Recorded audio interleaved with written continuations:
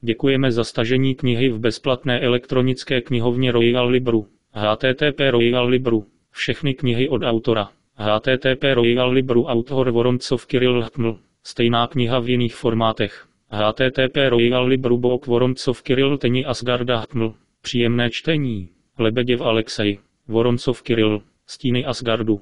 Kolem nás jsou záhady zla, stejně jako jsou tajemství dobra a náš život a všechny naše činy se, myslím, odehrávají ve světě, který netušíme, plném jeskyní, stínů a obyvatel temnoty. Arthur Machen.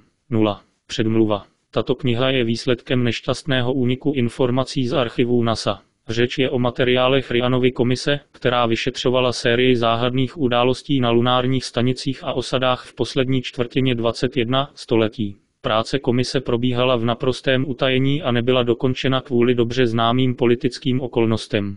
Materiály vyšetřování předali zájemci do rukou dvou mladých spisovatelů. Tito dva provedli umělecké rekonstrukce některých akcí, opírali se o svědectví a psychosondy jejich účastníků a svou bohatou fantazií zaplňovali informační mezery. Z pochopitelných důvodů byla změněna jména postav a nebylo pojmenováno místo působení. První vydání knihy se objevilo na začátku 22. století a okamžitě se stalo bestsellerem, z velké části kvůli sžíravému odmítání ze strany akademické obce a vlády. Autoři před procesem uprchli a jejich další osud není znám. Podle jedné verze uprchli do Jižní Ameriky, podle druhé se stali obětí speciálních služeb. Nyní, po mnoha letech, můžeme k tomuto dílu zaujmout střízlivější a kritičtější postoj, což však ani v nejmenším neubírá na jeho umělecké a historické hodnotě. Připomeňme si prastarou pravdu. Kdo se nepoučí z historie, je odsouzen zažít vše znovu. Část první. Záhady měsíce. 1. Číslo 13. Jedy Ackerman. Jsem nemocný starý muž. Nezasvěcenému se takové tvrzení může zdát zvláštní. V skutku, svou poslední pozemskou cestu jsem nešel ani do poloviny. V podsvětí jsem však již byl. V jednom ze svých minulých životů jsem byl vězněm nacistického koncentračního tábora. Tam na mě experimentovali. Zábava, že? Hrozná věc je paměť. Zejména paměť staletí. Možná bych se neodvážil jít touto cestou. Byl bych zdravým a šťastným obyvatelem, obyvatelem letadla, který nezná jiné dimenze. Ale rozhodl jsem se. A teď už nebudu stejný. Chodím mezi lidi jako cizí. Čas nás dělí. Jejich jasný a radostný svět mi připadá jako iluze. Za jasnými barvami dne vidím neproniknutelnou tmu. A v duši chladne. Někdy ožívají stíny minulosti. Mrtví si nasadili masky. Pak jsem potřebný. Jmenuji se. Jsem využit a pak vržen zpět do rukou lékařů. Chudák doktor Saunders. Jediný člověk, který mi přál jen to nejlepší. Kolik úsilí vynaložil, aniž by si uvědomil. Jsem nevyléčitelný. Kdyby jen věděl, jaký bude náš poslední podnik. Při jednom z našich tradičních čajových dýchánků jsem vtipně poznamenal, že by bylo fajn uniknout od všech problémů na měsíc. No, jedi zvolal doktor. To je myšlenka. Ukázalo se, že jeho student pracuje v jednom z lunárních sanatorií a je docela možné mě tam domluvit. Neodolal jsem. Zbytek byl otázkou techniky. O týden později jsem již z okna své komnaty obdivoval měsíční krajinu a užíval si sníženou gravitaci. Není divu, že říkají, že to prodlužuje život, to však vůbec nepotřebuji. Muselo to být právě v tomto období, kdy jsem byl uzdravení nejblíže. Pak se ozval instinkt smrti. Zapnul jsem televizi. A vše začalo znovu. Víte, jak se to stane? Svět jako by se zastavil, jeho barvy vybledly. Před vnitřním okem se objeví černá tečka. Roste, formuje se, aniž by zastavil svůj rotační pohyb. Krvežíznivý čtyřnohý tvor. Vrtá mi hlavou. Říká se tomu svastika. Když jim o tom říkám, lidé se znechuceně mračí. Banální. Starý. Nevědí, že symboly jsou nadčasové. Neznají ani zákon zpětné vazby. Možná, že kdysi byla svastika mírovým znamením slunce, dodávající sílu starověkým áriecům. Ale od té doby se toho stalo hodně. Tento zdroj je navždy poškozen. Neboť toto znamení absorbovalo všechno zlo lidí, kteří ho nosili, a jejich strašné činy, nepřístupné lidskému chápání. Je toto vysvětlení dostatečné? Stvoření tedy znovu ožilo. Ale díky bohu už vím, jak se s tím vypořádat, alespoň ve vlastní hlavě. Pomohl samotrénink. Po pár minutách jsem se vrátil do svého obvyklého stavu, svět byl stále šerý, ale vize byly zablokované. Zůstává duchovní napětí, které nepolevuje, dokud nezmizí příčina, která jej způsobila. A k tomu ho musíte najít. Program se jmenoval Tajemství měsíce. Ve skutečnosti v takových programech není nic překvapivého. Lidi vždy přitahuje vše tajemné a neznámé. Zvláště, když existuje příliš mnoho dalších nevysvětlených skutečností. Poprvé jsem slyšel legendu o Asgardu, zřejmě velmi populární mezi místním obyvatelstvem. Asgard zde byl nazýván tajemným městem na měsíci, ve kterém údajně žili neméně tajemní selenité. Toto město vidělo mnoho lidí, ale názory na jeho polohu se lišily, z čehož vyplynul závěr. Město existuje v jiné dimenzi a jen občas se objeví v té naší. Občas se objevili i obyvatelé města, kteří zanechávali stopy v měsíčním prachu a skalních malbách. Také aktivita selenitů vysvětlovala ohnivé disky nad měsícem a další jevy. Legenda nebyla o nic horší než ostatní. Trápilo mě něco jiného. Ukazuje se, že selenité jsou příbuzní lidí. Buď kdysi se stoupili na Zemi, nebo naopak emigrovali na měsíc z Atlantidy. Nejzajímavější je, že každý člověk se může stát selenitou, pokud projde určitou cestou duchovního rozvoje. Pak bude moci opustit stísněné kopule osad a vstoupit do lunárních prostor. Nebude potřebovat skafandr ani jiná technická zařízení. Nebude potřebovat vzduch, jídlo ani oblečení. Ozývaly se i zvěsti, že takový už existují. Zazněla jména pohřešovaných. Nepochyboval jsem. Je to stará píseň. Slyšel jsem to na začátku minulého století. Nejvyšší neznámí, velcí staří, tajní lordi. Musím se s nimi vyrovnat dlouho. Velmi starý.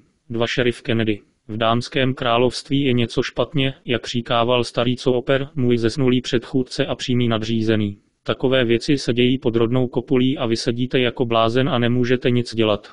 Náš milý starosta Michail Petrovič mě jednou chtěl pochválit a řekl, nové koště dobře mete. Ukazuje se, že existuje takové ruské přísloví. No, koště je koště. Až teď se najednou objevil další, čert ví kde. Její tyče jsou ocelové a zametá bez pravidel. Když začali zabíjet prostitutky, mysleli jsme si, maniak, jako Jack rozparovač. Náš Jack tím ale neskončil. Narkomani začali umírat, rukopis je stejný. A kdo, divím se, pak uhodl přidat pomalý jed do drog? Je to jako být otráven krysami. Sešel dolů a otočil se nahoru. Cože, neznal jsem všechny ty pasáky, obchodníky, gangstery, domácí mafiány? Věděl. Ale jedna věc je vědět a druhá chytit a dokázat. A ani pak nepřesadíte všechny, nebude dostatek místa. Ale Jack nepotřebuje žádné důkazy ani vězení, neexistuje žádná osoba a není žádný problém. Přiznám se upřímně. Zprvu jsem ho neodsuzoval, ale jen záviděl. Pak jsem díky bohu přišel k rozumu. Tehdy přišla řada na Pereiru. No, nebyl to zločinec. Ano, rád si trhal hrdlo a organizoval shromáždění. Za tímto účelem byli jeho lidé vybráni, aby chránili jejich zájmy. Netrvalo dlouho a ochránil je. Je vidět, že ocelovému koštěti se naše demokracie nelíbí. Pak jsem si pomyslel, co si sakra nedělá srandu, můžou se ke mně dostat. A obecně každému člověku pod tou zatracenou kupolí. Tady je ta hrůza. Konec konců, náš Jack má v hlavě očividně plno hadů. Nevím, co čekat. Asi stárnu. A pak je tu jeden divný chlap, Jedy Ackerman. Vstoupil a podíval se na mě. Jeho oči se mi nelíbily. Starý, starý. A jako by věděl takové, že je lepší nevědět, jinak půjde střecha. Pak jsem usoudil, že je narkoman. Ne od pankáčů, co kouří trávu a injektují, ale od těch nových, co chemicky pracují s elektronikou. Prý to trvá deset let. Dobrý den, pane Ackermane, řekl jsem zdvořile. Jak mohu pomoci? Naopak odpověděl liknavě. Můžu ti pomoci. Opravdu? Co, zrodil se nový Sherlock Holmes? Chápu, že jste přítel doktora Flethera. Požádal mě, abych tě vzal. Nezavrtěl jedi hlavou. Nejsem přítel doktora Flethera. Jsem jeho pacient. Čas od času to není o nic jednodušší. Nejen narkoman, ale i psychopat. Proč byl propuštěn? Co je to, nová léčba? Ano řekl. Jsem starý nemocný muž. Známý po celém světě jako číslo 13. Možná jste slyšeli? Otevřel jsem ústa. Stále by neslyšeli. Případ velkodlaků, záhady třpitivé temnoty, odhalení požárníka a tak dále ve stejném duchu. Ale je to opravdu on? To jsem já. Tady jsou doklady, vytáhl z kapsy Saka občanský průkaz spolu s nějakými papíry a hodil mi ho na stůl, aniž by se podíval. Podíval jsem se a vše bylo správně. Takže vy jste soukromý detektiv? Ne, jsem mystik. Dobře, mystik je tak mystik. Změňme to pro přehlednost. I když podle mě, když někdo kváká jako kachna a plave jako kachna, tak tohle je kachna. A číslo 13 chytí zločince. Tak jaká je dohoda? Povězte mi, šerife, děje se ve vaší doméně v poslední době něco divného? Ano, Bůh mi to poslal. Nicméně raději počkám. Co máš na mysli? Například nemotivované sebevraždy, zmizení? Tady mě vyhodil pryč. Udeřil jsem prstem do nebe, rozhodl jsem se a pak jsem si najednou vzpomněl. Ano, bylo to tak? Je zřejmé, že se na věci díváme z různých úhlů. Nedávno se náhle objevila molda chůze po měsíci. A co je špatného, když za vaše peníze? Vytáhl skafandr, koupil dýchací směs a choď, jak chceš. Sami nebo s přáteli. Já sám si občas chodím odpočinout. A najednou sebevražda jedna za druhou. Samozřejmě, co je jednodušší, rozepnout skafandra ahoj. Ale proč, proč a nezjistil. Lidé jsou většinou blahobytní, kultivovaní, všechno s nimi bylo ok. Je to jako nějaký druh poruchy. Pak zavedli omezení jednotlivých vycházek, povinnou evidenci výjezdů, i když kvílení se samozřejmě zvedlo. Takových případů bylo díky bohu méně. Ale to není všechno. Z pravidla jsme našli sebevraždy. Jení, jak se stalo, zmizeli na dobro. Jako kráva olíznutá jazykem, řekl tehdy Michail Petrovič. To je takový ruský černý humor. Řekl jsem číslu 13 vše bez zatajování, jak o vraždách, tak o sebevraždách. Bylo zajímavé se na něj dívat. To vše se mu samozřejmě strašně nelíbilo, ještě víc než mě, ale na druhou stranu mě to vůbec nepřekvapilo. Měl jsem představu, že všechno to zatracené je dílem zločinců, po jejich stopě šel dlouhou dobu. Za to pravděpodobně letěl na měsíc a léčba je jen zástěrka. Nesledujete program tajemství měsíce? Zeptal se náhle. Ne, byl jsem překvapen. Pak mi dal příběh selenitů. Věříš tomu? Zeptal jsem se opatrně. Do Asgardu a tak? Asgard je svět S, tedy bohu, ve staroseverské mytologii. Ale o jméno to není. Je zřejmé, že naši sebevrazi věřili v selenity, věřili, že se mohou stát selenity a byli připraveni stát se selenity. Svlékněte své těžké skafandry, které již nebyly potřeba a choďte bosky po měsíci. Máte pravdu. Tito lidé měli všechno, chyběl jim jen bláznivý sen. Tento mystik byl zatraceně přesvědčivý. Pak musíme jednat, řekl jsem.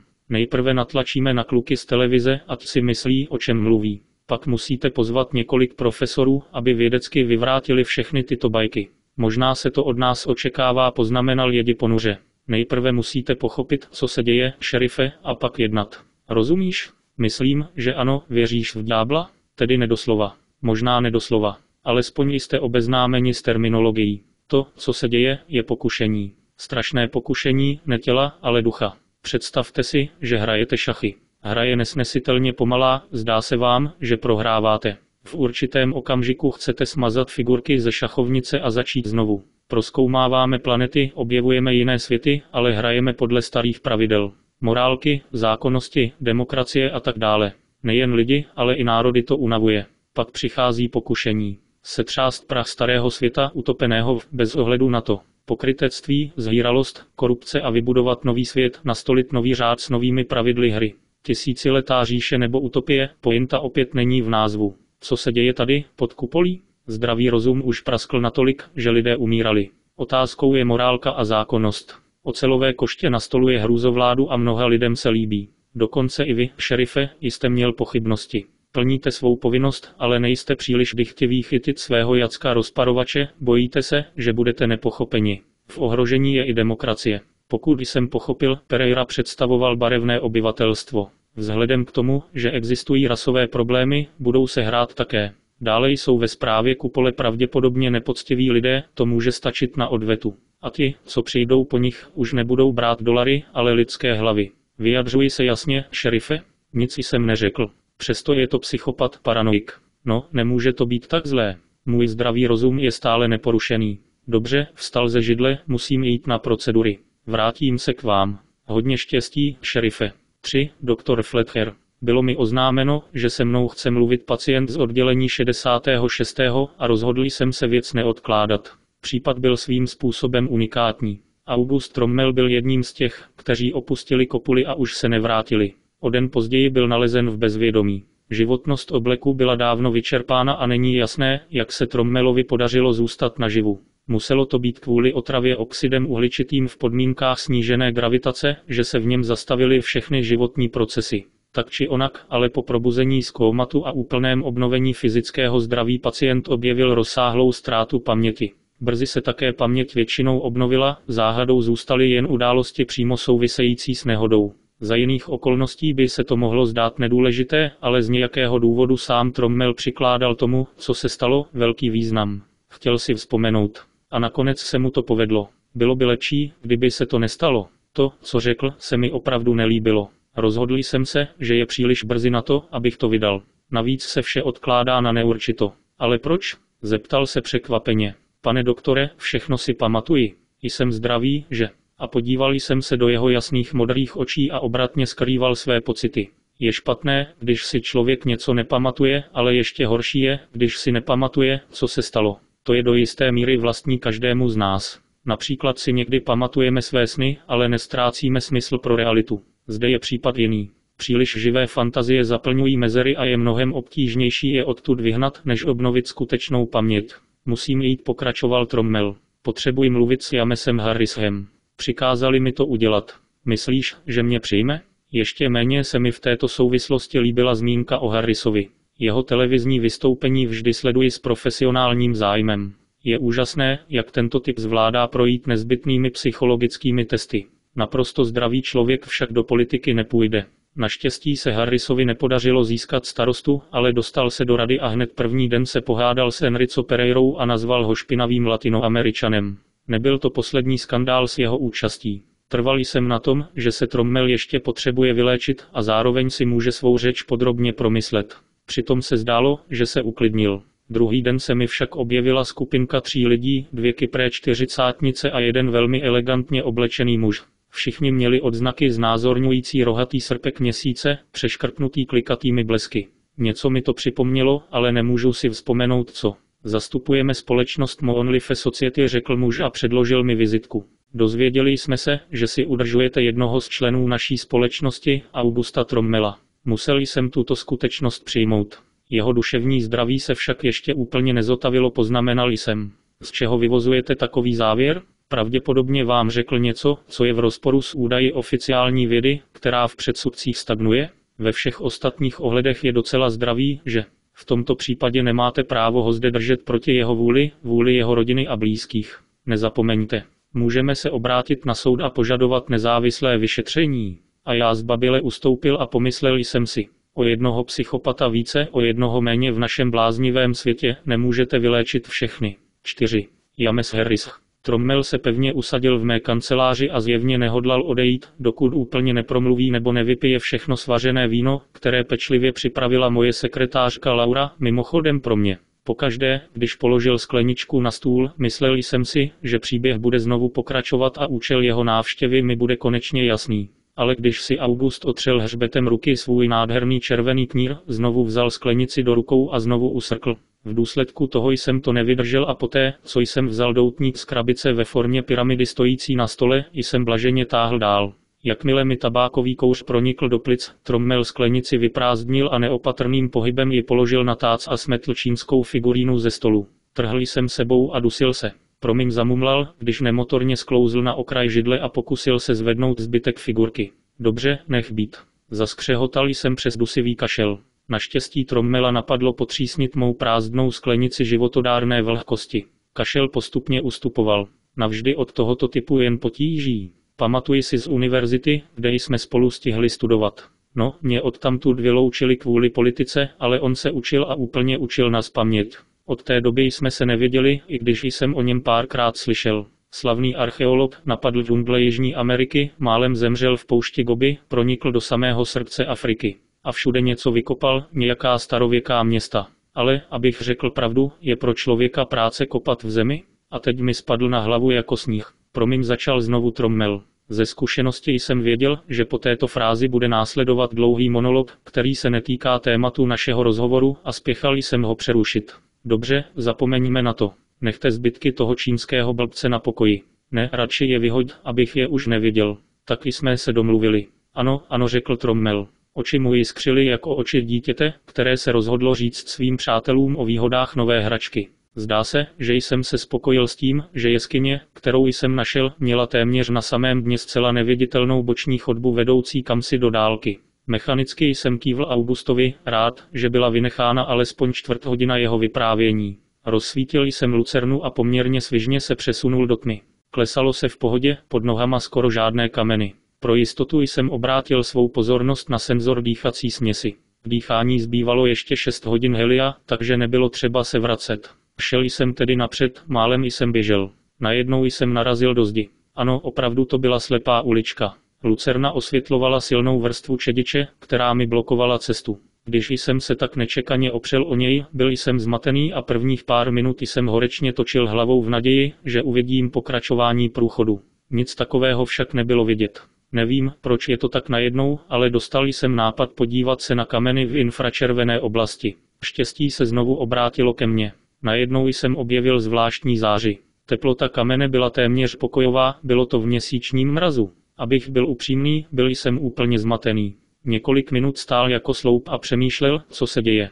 Jako moderní člověk se snažil vysvětlit tuto anomálii z vědeckého hlediska. No, sopečná činnost, dopad meteoritu a tak dále. Ve skutečnosti nikdy nevíte, co se může stát na měsíci. Když jsem ale přesněji určil zdroj záření, málem jsem omdlel, protože to bylo nad mou hlavou. Umíš si představit? Velmi blízko, doslova natáhněte ruku, což jsem mimochodem udělal právě tam. Ukolébán monotónním hlasem vypravěče jsem si nevšiml, jak jsem usnul. Trommelův zvýšený hlas mě náhle probudil. Už se napůl zvedl na židli a mával paží, očividně mi ukazoval, co se mu stalo. Začal jsem znovu poslouchat příběh. Ano, starý August vyprávěl velkou část svého příběhu. Bylo jich pět pokračoval v nekonečném monologu. Navenek se tolik podobali lidem, že kdybych je potkal na jiném místě, v životě bych v nich nepodezříval mimozemšťany. Ale potkat tady, na měsíci, lidi, kteří klidně chodí po povrchu bez skafandrů, je to přinejmenším děsivé. Přiznám se, Jamesi, docela mě to vyděsilo, ale nemohl utéct. Zdálo se, že mě k sobě přitahují, jinak se to nedá nazvat. Když se jeden z nich ke mně přiblížil, ucítil jsem jeho dech na své tváři. Dokážete si to představit? Dýchání přes oblek. Přikývl jsem a znovu usnul. Náhodou mi však probleskla hlavou myšlenka, že mě Trommelův příběh pomalu začíná zajímat a proto jsem se probudil z vlastní vůle.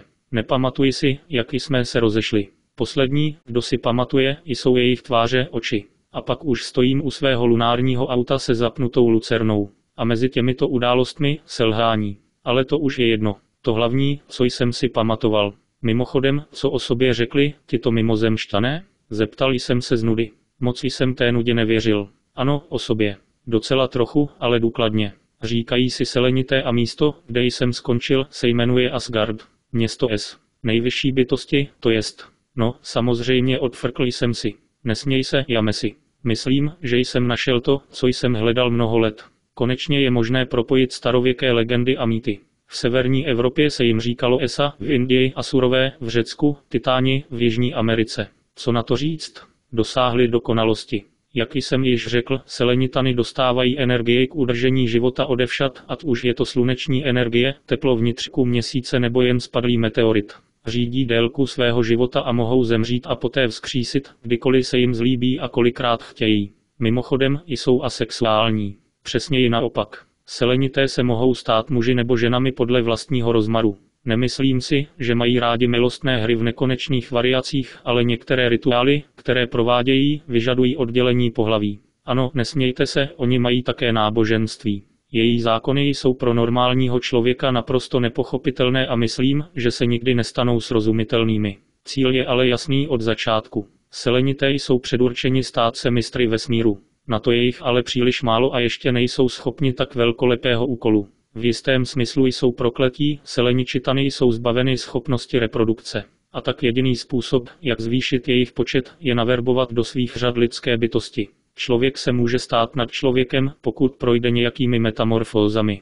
Je to dlouhý a obtížný proces, jen málo synů lidstva je hoden projít tím a získat neuvěřitelné schopnosti. Původní čistota krve a touha duše jsou nezbytné pro úspěšné dokončení proměny. Mimochodem, precedenty již byly. Jen jsem pokrčil rameny a všiml jsem si, že doutník, který jsem položil na okraj popelníku, téměř celý doutná. Nechtěl jsem si zapálit nový, protože pouhý pohled na Trommela odradil od jakékoliv touhy po malých radostech. Takže na to narážím. Lidstvo má reálnou šanci stát se pánem svého osudu. Neomezené možnosti. Nekonečný život. Smrt je jako sen. Zajímalo by mě, proč byli prokletí, řekl jsem melancholicky, aniž bych dal na konec věty otazník, ale spíše jsem si to vychutnával. To je jedno zamítl August mé námitky a pokračoval ve svých nadšených řečech. Ale v tu chvíli se mi rozsvítilo. Víš, potřebuješ být v televizi. Existuje takový program Tajemství měsíce. Dostanete se k věci. Zeptejte se moderátorky, jak se jmenuje. Ano, Magdala Larsenová. Pomyslel jsem si, vzpomněl jsem si. Musím říct, že tato maličkost je chutná, Larsen, i když ne první mladík. Švédská, zdá se. Krátké vlasy, modré oči, odhodlaná tvář. Ničí se prací a kolik pravděpodobně nevyčerpané energie bych promarnil. Chtěl jsem se seznámit, ale všechno bylo tak nějak jednou. No, možná se sejdeme na trommeliánské půdě. Naštěstí se k mému brilantnímu návrhu o televizi nedostal jen trommel. A tak se toho chytil jako tonoucí slámy. Poslouchej, Auguste, nemohli jsem si pomoct, nestrácej svůj drahocený čas. Vysílat pozítří. Pokud se opozdíte, obléknou si něco úplně jiného. To je pravda, starý chlape. Díky za připomenutí, nejde mi to z hlavy. Opravdu potřebuji běžet. A po nahrávce určitě přijdu a řeknu vám, co a jak se stalo. Těžce jsem si povzdechl a očekával další těžký den tohoto týdne, ale okamžitě jsem nasadil svůj služební úsměv a šel jsem ve třelce vyprovodit. U dveří se náhle zastavil. Ale mohl byste kontaktovat společnost? Víte, naznačte mou návštěvu a ujišťujte je, že to stojí za to. Přesto mě vůbec neznají. Dobře, zkusím. Šťastně mi potřásl rukou a spěchal z kanceláře. S obtížemi jsem se dostal k židli a zhroutil se do ní. Nebyl jsem schopen poslouchat nesmysly tohoto excentrika. Proč ke mně přilnul svými selenity? Při zvuku padajícího těla vstoupila Laura z chodby. Svůdně se pohupovala v bocích a přešla ke stolu. Už mě nebaví čekat, až ten odporný muž odejde stěžovala si. A já ještě víc. Přejela prstem po okraji sklenice. Svařené víno je již studené. Možná udělat víc? Nepokynul jsem jí a Laura mi s radostí vlezla do klína. Obejdeme se bez něj. Samozřejmě, jeme. Jen jsem chtěl vědět, o čem jsi tak dlouho mluvil. Něco důležitého? Ne, to je nesmysl. Jako vždy u něj o nadřazené rase. Starý Augustus má takové nesmysly od dětství, neměli byste jim věnovat pozornost. Už jsem skončil se všemi přáteli, zůstal jsem jen já. Jsi strašně unavená, drahoušku řekla mi Laura. Můžete si dát pauzu? V zájmu slušnosti jsem se podíval na hodinky. Před recepcí byl čas, vagón a malý vozík. Je těžké proti tobě odolat oslnivě se usmála Laura a předvedla mi řadu sněhobílých zubů do očí a já cítil, že jsem již vysvobozen ze saka a kravaty. A začali jsme s naším rituálem. 5. Magdala Larsenová. Když do mé šatny vtrhla Jackvueline, myslel jsem si, že nastal konec světa. No a v nouzi ji manžel přistihl s nějakým jiným koníčkem. Alespoň tak se dala vyložit její výmluvná gesta směrem ke dveřím a překvapivá bledost její tváře. Aniž bych se odvrátil od zrcadla, zeptal jsem se, co se ti zase stalo? Jackvueline se zhroutila do nedalekého křesla. Otočil jsem se a podíval se přímo na ní. Je zřejmé, že můj nespokojený obličej, na který jsem se ještě nestihla nalíčit, působil na přítele vystřízlivění. Sebrala odvahu a vyhrkla. Psycho ve studiu. Pokud mluvíte o Micku Olsenovi, pak mě to nepřekvapuje. Taky mě dostal správně. Nakonec jsem ještě. Ne, vůbec si nedělám legraci, objevila se na Jackvuelině tváři zoufalá grimasa. Někdo sem pustil šílence, který s pěnou u úst nadává, že chce doručit zprávu od mimozemštanů. No, samozřejmě, řekl jsem zvlášť, jen takoví lidé se na nás obracejí. Opravdu není on sám? Jak to mám vědět? Jackvueli nebyla pobouřena. Myslíte, že musím od každého chtít potvrzení od psychiatra? To však nepotřebuje, na první pohled je vidět, kde byl držen. Dobře, co ti ještě musel utkat? Nic než tohle. Stráže se s ním teď zabývají. Nevím, kam se dívali, když vešel dovnitř. Podle mého názoru, abyste promeškali takového šílence, potřebujete vzácnou dovednost, abyste zaujali špatné místo. Poslouchej, nemohli jsem odolat, ale mohl bys všechno vysvětlit znovu a podrobněji? Umět. Tak pojď. Narazil jsem na něj na chodbě. Objevil se přímo přede mnou, jako by vyrostl ze země. A hned se zasekl u otázky, kde by tě mohl najít, tedy hostitele Secrets of Hemon. Ano, moc dobře vím, kdo vás může navštívit a chtěl jsem mu dát odbočku od brány, protože si na mě okamžitě sedl se svým idiotským požadavkem, abych si s ním domluvil schůzku. Začal řvát něco o svobodě slova, o svém důležitém poselství a podobných nesmyslech. Jako ve strašném tajemství mi řekl, proč jsem přišel. Byl bych se nahlas zasmál, kdyby mi tenhle schizofrenik nevysel na novém svetru. V tu chvíli do naší společné operace vtrhla ochranka a okamžitě mě z ní vytrhla. Vidíš, jakou mám potom pomačkanou bundu. Sotva unikl. A pacienta odtáhli, aby se uklidnil do studia počítačové animace. Jen on nechce nic slyšet. Ať tě uvidí a je to. Zajímá je, zda zavolat vám nebo lékařům, jak se rozhodneš? Zatím nevidím potřebu lékařů. Mezitím jsem zvážil všechna pro a proti. Riskovat pro nic za nic samozřejmě také nemá smysl. No, strážci ho šokovali kvůli zbrani, to je pochopitelné. Není známo, co bez toho může vyhodit. Na druhou stranu, pokud jeho blouznění bude stát za to, pak vysílání pozítří. Dobře řekl jsem pomalu. Jdu se podívat na tvého psychopata. Pokud řekne něco zajímavého, pak naše další číslo bude dávat alespoň nějaký smysl. Myslíš? Jackvueline se na mě pochybovačně podívala, jako by zjišťovala, jestli jsem náhodou nedostal to též. Ach, z jakéhokoliv důvodu přestaň se vsteky. Odhodlání ve mně bylo víc než dost. Asi neposlední roli se hrála nejistota kamaráda. Jestli nechceš, tak si sedni. Nikdo tě nenutí. Počkej, Magdo. Tím samozřejmě neříkám, že vás tak napadne, jde spíše o něco jiného. A v čem? Upřímně řečeno, mám špatný pocit. Úžasle jsem zíral na návrháře. O čem to mluvíš? O překreslení vydání? Ano i ne. Můžeme se dostat do nějakého špinavého příběhu. Víte, vojenská tajemství, státní tajemství. Slyšel jsem o tom tisíckrát. Všechny tyhle patriotské hry mě nezajímají. Konec konců máme nezávislý televizní kanál. Když jsem vyšel na chodbu, prudce jsem zabouchl dveře Jackvueline před nosem. Nedostihla mě, musela se vážně urazit. Možná bude mít zase pravdu. V každém případě bude nutné ji požádat o odpuštění. Nebylo těžké najít osobu, která mě tak horlivě hledala. Teď, když se vzpamatoval ze své počáteční úzkosti, vypadal docela normálně. Obyčejný měšťan s obligátním břichem. Oblečený podle poslední módy, i když stále pozemský, k nám s největší pravděpodobností dorazil nedávno, takže neměl čas na reorganizaci. Okamžitě mě zaujal jeho bujný zrzavý knír, který jeho tváři dodává nečekanou přitažlivost. Přiběhl ke mně nepřirozenou rychlostí, vřele potřásl rukou, kterou jsem natáhl a představil se. Vyzval jsem ho, aby se posadil. August Wilhelm Trommel neměl čas zaujmout místo v sedě a začal svůj příběh. Zpočátku mi všechno, o čem mluvil, připadalo jako pouhý nesmysl, postrádající byt jen špetku smyslu. První dojem se však postupně vytrácel. Začal jsem se zajímat o historii. Přeci jen to bylo mnohem zajímavější, než ten, který jsme plánovali zařadit pozítří do programu. I když je to výplod jeho chorobné fantazie, pro neskušenou veřejnost je velmi atraktivní. To je to, co milují. Náčelník pravděpodobně zůstane nespokojený. Má rád podrobné programy, jako je ten, který by měl následovat v rozvrhu. Ano, nedej bože, materiál se tam sbírá, ale co se týče ostrosti vnímání, to je mnohem horší. Pokud to však zkusíte, můžete ho přesvědčit. A pokud je to možné, pak je to nutné. Jo, to jsi ty, Larsene. Vítejte.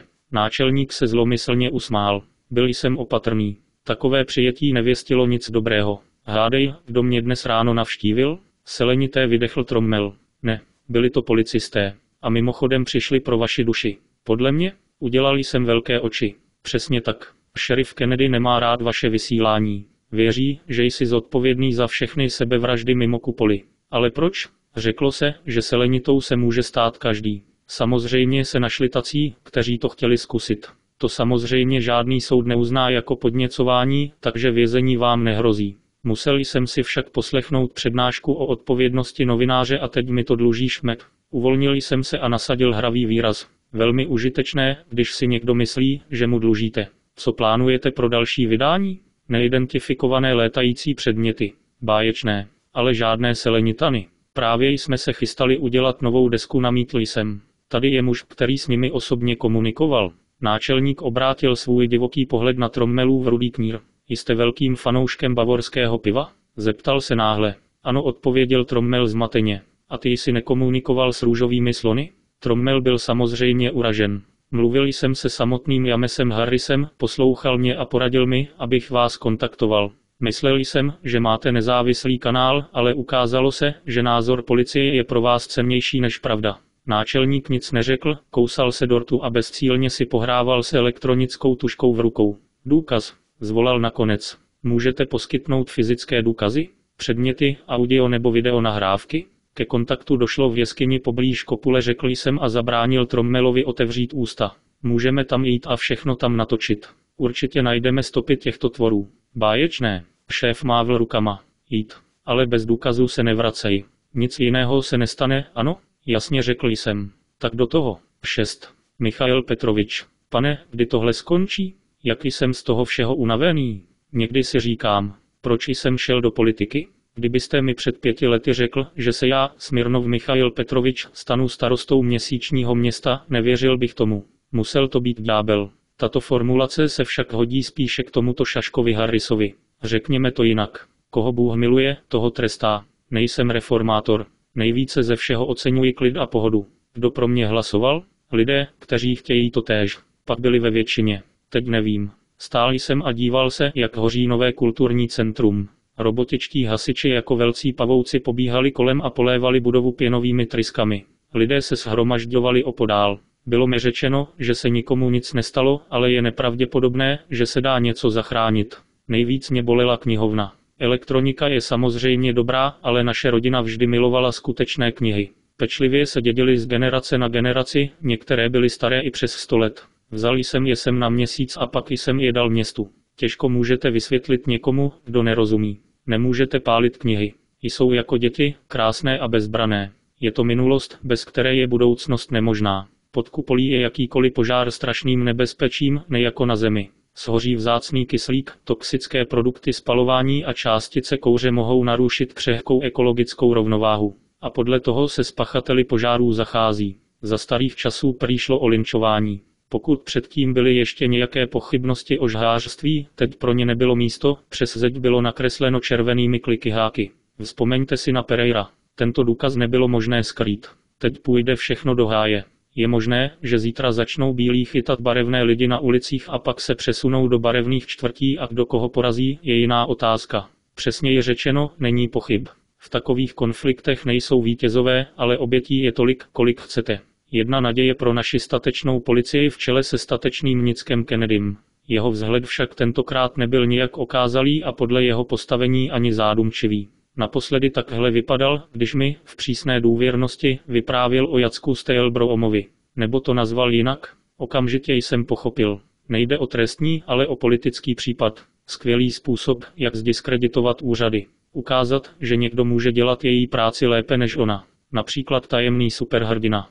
Je to také zatracený maniak. Vše podle nejlepších tradic. Nick mi tentokrát zmateně vyprávěl o schůzce s jistým jediem, který našemu klidnému městečku oznámil novou apokalypsu a zejména varoval před rasovými nepokoji a tím, že je použijí nějaké temné síly. Pro takový předpoklad však člověk nemusí mít sedm sáhů v čele. Tohoto ďábla mohu dokonce nazvat jeho jménem James Harris. Neudělali jeho lidé provokaci? Ne, jaký je to ďábel? Spíš malý démon. A pak jsou dvě možnosti. Buď neví, co dělá, nebo to za něj dělají jiní a on sám je jen pěšákem ve velké hře. Možná hra přesahuje naši kopuli a naši realitu obecně. I já mohu být mystikem. 7. Číslo 13. Tu noc se mi zdálo o ohni. Červená šelma vynořující se ze země, dravá a všežravá. Hořely domy a lidé. Vše, co bylo vytvořeno lidstvem, se proměnilo v prach. Tento sen mi byl povědomý. Noční mury jsou jedním z vláken, které spojují všechny životy, které znám. Ohnivý sen mě poprvé navštívil předtím, než nacisté zapálili říšský sněm. Nesliboval nic dobrého. Když jsem se probudil, cítil jsem, jak se atmosféra změnila. Nedoslova, samozřejmě. Ale i jsem se valili vlny úzkosti, strachu a nenávisti. Určitě to ovlivní stav pacientů. Dr. Fletcher, nejlepší student doktora Saunderse, si bude muset pohrát. Požár se objevil v ranních zprávách. Na moje poměry to bylo málo, ale tady to byla samozřejmě akce číslo jedna. Událost schopná roztrhnout kupoli na půl. Proto mě příliš nepřekvapilo, když se mi zjevil sám doktor Fletcher a sdělil mi, že městští otcové naléhavě potřebují mou společnost. Řekl mi také vše, co si myslí o mém angažmá v politice a o tom, jak to může být škodlivé pro mé zdraví. Vypadá to, že slíbil svému oblíbenému učiteli, že země sfoukne prach a já zasadil takové prase. Já jsem na oplátku slíbil, že poté, co jsem splnil svou občanskou povinnost, se stanu opět hodným chlapcem a budu plnit všechny předpisy lékařů. Fletcher odsouzeně zavrtěl hlavou a dal souhlas. Taky jsem se z tohoto sanatoria dostal po druhé. Město bylo neklidné. Po ulicích se proháněly hlídky. Bylo však cítit, že v klidu není ani policie. Z tohoto důvodu byli nepřirozeně drsní, rozháněli lidi, kteří měli tendenci se shlukovat do skupin a diskutovat o tom, co se děje. Taky jsem se dozvěděl, že ze žhářství byli obvinováni Pereirovi lidé, údajně existují důkazy, že se úřady snaží umlčet. V kanceláři starosty byli umístěni strážníci, kteří mě bez písemného povolení nechtěli pustit dovnitř. Musel jsem zavolat nahoru a o pár minut později jsem už byl v kanceláři Michaela Petroviče. Byl zde přítomen i můj přítel šerif Kennedy. Oba byli v pochmurné náladě. Starosta vstal od stolu a podal mi ruku. Dobré odpoledne, pane Ackermane. Bylo mi řečeno, že jste připraven poskytnout městu vaši pomoc. Město je na oplátku připraveno to od vás přijmout, bez ohledu na to, jak neobvyklé to může být. Za současných okolností jsme připraveni zvážit jakoukoliv vaši podmínku. Zaplat mi léčbu, řekl jsem. Nic jiného není potřeba. Nevydělávám peníze, bojuji se zlem. Šerif se na mě podíval se zjevným souhlasem. Pojďme na věc, pokračoval jsem a posadil se do křesla. Jaké důkazy skrýváte? Ukazuje se, že to nejen skryli, ale prostě se rozhodli nepřitahovat pozornost oficiálními kanály.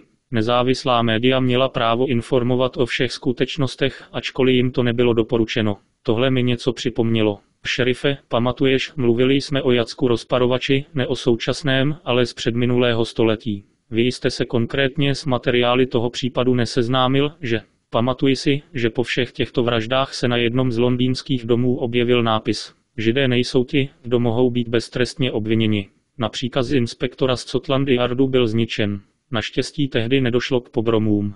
Ne, pane starosto, nebyl jsem z Herlock Holmes. V tom životě jsem byl katolickým knězem. Michail Petrovič si uvědomil, že jsem mu četl myšlenky a podíval se na mě s úžasem. Tohle nebylo součástí mých plánů. Neboj, moje skromné schopnosti poslouží jen dobru města. Takže v obou případech máme co dočinění s provokací. Je skvělé, že jsi na to nespadl. Nyní by bylo hezké najít skutečného vyníka. Jo, to by bylo hezké, zamumlal Kennedy. V tom se vám pokusím pomoci, a to ani radou.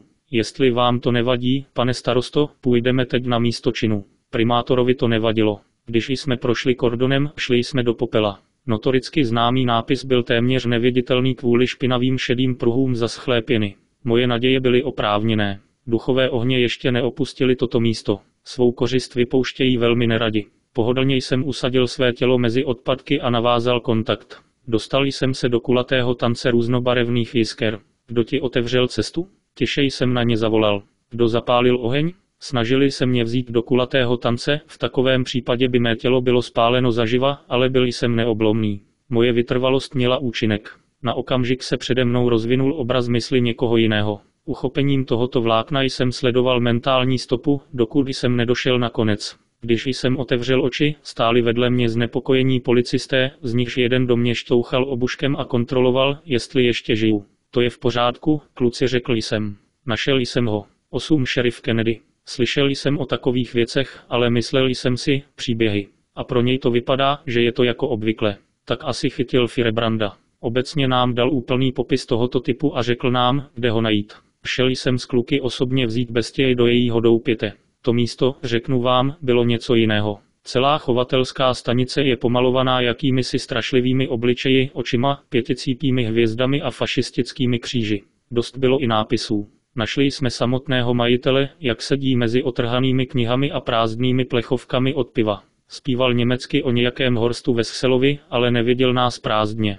Když byl odvezen na stanici a přiveden k rozumu, okamžitě se rozdělil a přiznal se ke žhářství. Zdálo se, že mu na sobě nezáleží. Ale jeho svědectví mě naprosto znepokojilo. Začal jsem pochybovat, v jakém světě jsme. Ukáže se, že celý zločin naplánovali vyšší síly a on sám byl jen prostým vykonavatelem, přikázal mu hlas. Myslel jsem, že ten šílenec by mohl být ocelové koště a taky jsem mu položil pár hlavních otázek. Zdálo se, že o ničem neví, ale hned naznačil, že není jediným agentem vůle mistrů. Myslel jsem si, že jediové by si s ním poradili lépe, ale prozatím jsme měli zatčeného zločince upřímné přiznání a spoustu fyzických důkazů z toho smetiště. To znamená, že je to maniak, řekl Michail Petrovič zamyšleně a přecházel po kanceláři.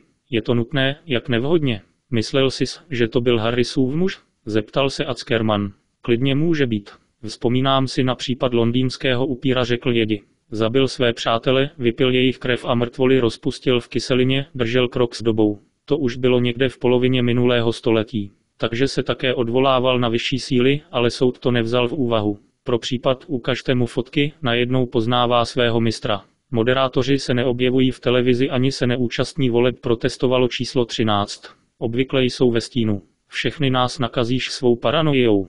V tomto případě doporučuji doktora Fletchera všem. V tu chvíli zapípal telefon. Starosta zvedl telefon a tvář se mu skřivila. Pánové, náš malý démon mluví na kanálu 2. Nicku, zapni televizi. 9. James Harris.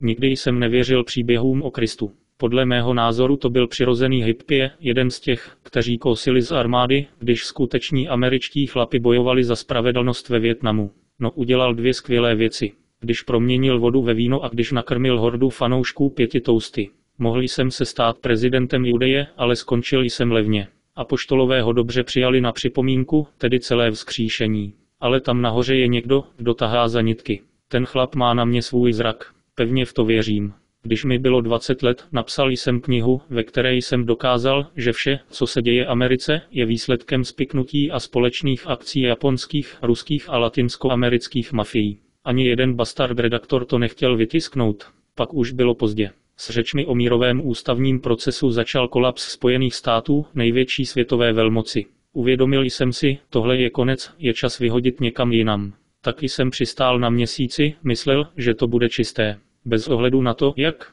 tady asi začnu. Sedl jsem si před kameru, natáhl ty, výraz fuck you se k tomu velmi hodí, samozřejmě nenahlas a dal znamení kameramanovi. Ahoj, tohle je James Harris, váš oblíbený poslanec. Dlouho jsme se nevěděli, abych k vám byl upřímný, náš dům smrdí. Jak? Neco, ale kdo? Varoval jsem vás. Množí se. Množí se jako králíci a lezou jako červy. Znečistili celou zemi a teď se dostali k nám. Těmhle bastardům není nic svaté. Vypálili kulturní centrum, vypomsty chtěví bastardi. Ukradli nám vzduch. Udusíme se nebo se smažíme, dobrá vyhlídka? Ptám se vás, bratři a sestry, jak dlouho to ještě vydržíme? Nejsme divoši. Máme demokracii. Vybrali jsme si lidi, které jsme považovali za hodné a dali jsme jim moc. Máme právo se jich ptát. Máme právo položit si otázku. Kam se dívá náš vážený starosta Michail Petrovič? Mimochodem, pamatujete si, že jeho příjmení je Smirnov? Haha, komentáře jsou nadbytečné. Máme právo zeptat se našeho statečného šerifa Kennedyho. Jak pokračuje boj se zločinem? Možná existují lidé, kteří to umí lépe? Jinak, šerife, riskujete sdílení osudu svého legendárního jmenovce. Vyzývám vás ke klidu, bratři a sestry. Nepodléhejte provokacím. Slibuji vám, že na příštím zasedání zastupitelstva města nastolím otázku znovu zvolení starosty. Přijďte mě podpořit. Pamatujte, naše síla je v jednotě. Vyměníme celou administrativu a uklidíme naše město. Uděláme zde pořádek, hodný poctivých dělníků, dobyvatelů kosmu. Čekám na tebe, má drahá. Byl s vámi James Harris, váš budoucí starosta. Operátor zvedl palec. Natočeno. Otřel jsem si pod čela a zapálil si cigaretu. To, co na mě během těchto představení přichází, sám nedokážu pochopit. Požádají vás, abyste opakovali, nebudu moci. Ale dopadá to prý skvěle. Dobře, potřebuješ se uvolnit. Vytáhl jsem radiotelefon a začal volat Lauře.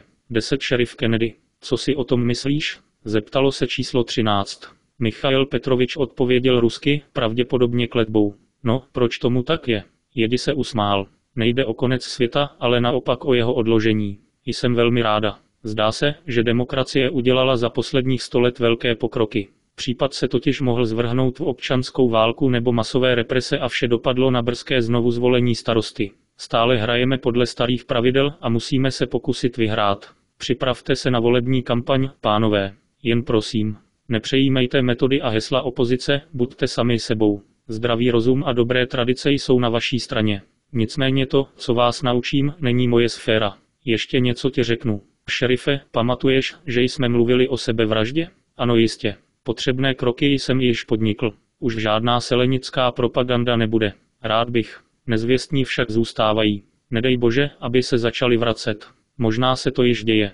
Tito lidé by měli být co nejvíce izolováni.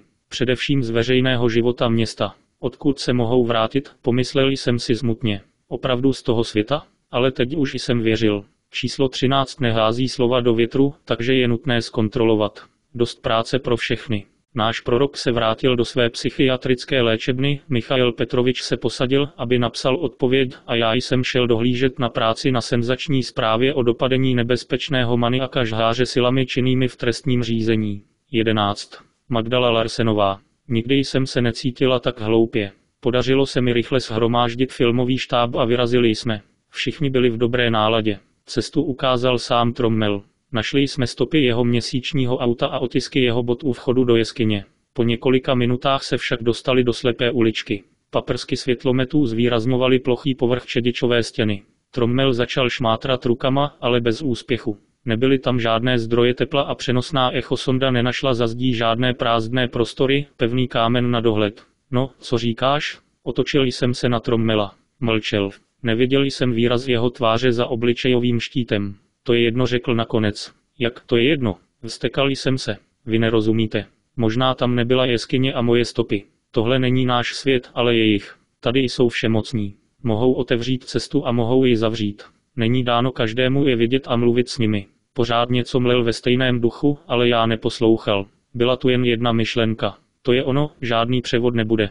Koupeno jako blázen. A tenhle psychouš všechno zničil. Všechny sny byly zničeny. Vracíme se, řekl jsem suše, otočil se a přešel přes rozpadající se kameny, aniž bych se ohlédl. Ostatní mě následovali. Když jsem přišla domů, zabořila jsem nos do polštáře a rozbrečela se jako holka. Takže jsem si ani nevšiml, že jsem usnul. Druhá část. Tanec duchů. 12. Sheriff Kennedy. Byl začátek druhé, právě jsem začínal jíst sendviče, pečlivě připravené mou ženou, když zavolal vedoucí ostrahy kanceláře starosty a řekl, že budovu napadla skupina novinářů a z nějakého důvodu všichni potřeboval místo starostu sama Kashina. Stále existoval režim propustek. Atmosféra ve městě stále zůstávala zneklidňující, i když napětí postupně opadalo. Ne všichni věřili, že jsme našli skutečného žháře a ostatním to bylo jedno, pokud dělali povyk.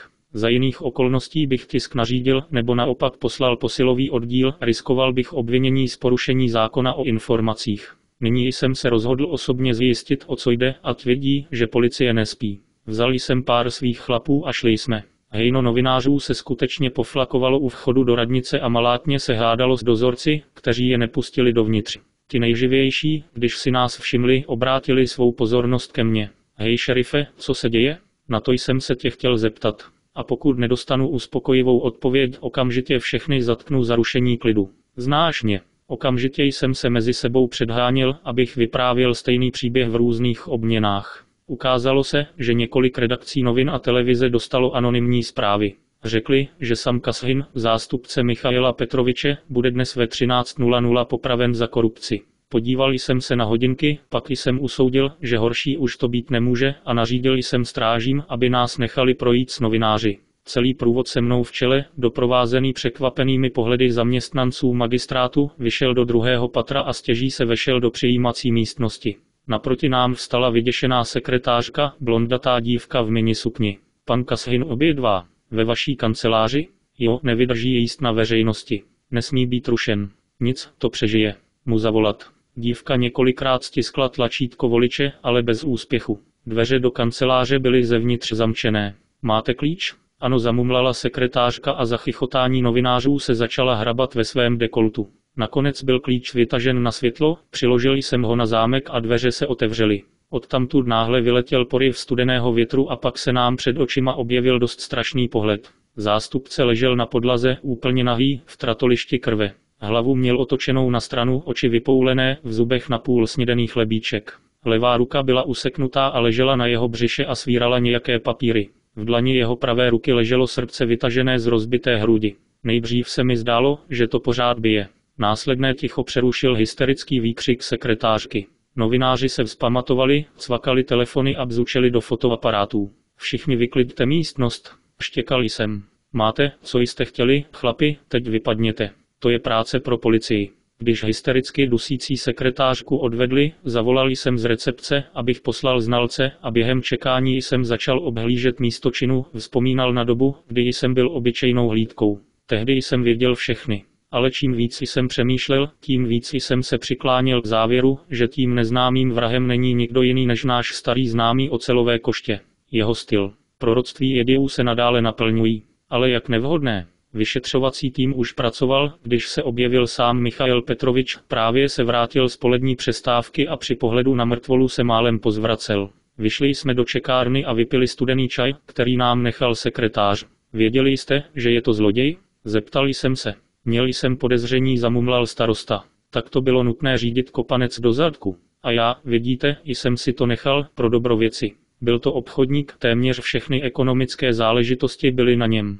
Návrhy jsou moje, provedení je jeho. Bylo to velmi pohodlné. Teď jsem bez něj, jako bez rukou. Okamžitě jsem si vzpomněl na dokumenty svírané v useknuté ruce. Ukázalo se, že Kashina obvinili ze spronevěry městských prostředků a podvodů se smlouvami, zejména při výstavbě nyní vyhořelého kulturního centra.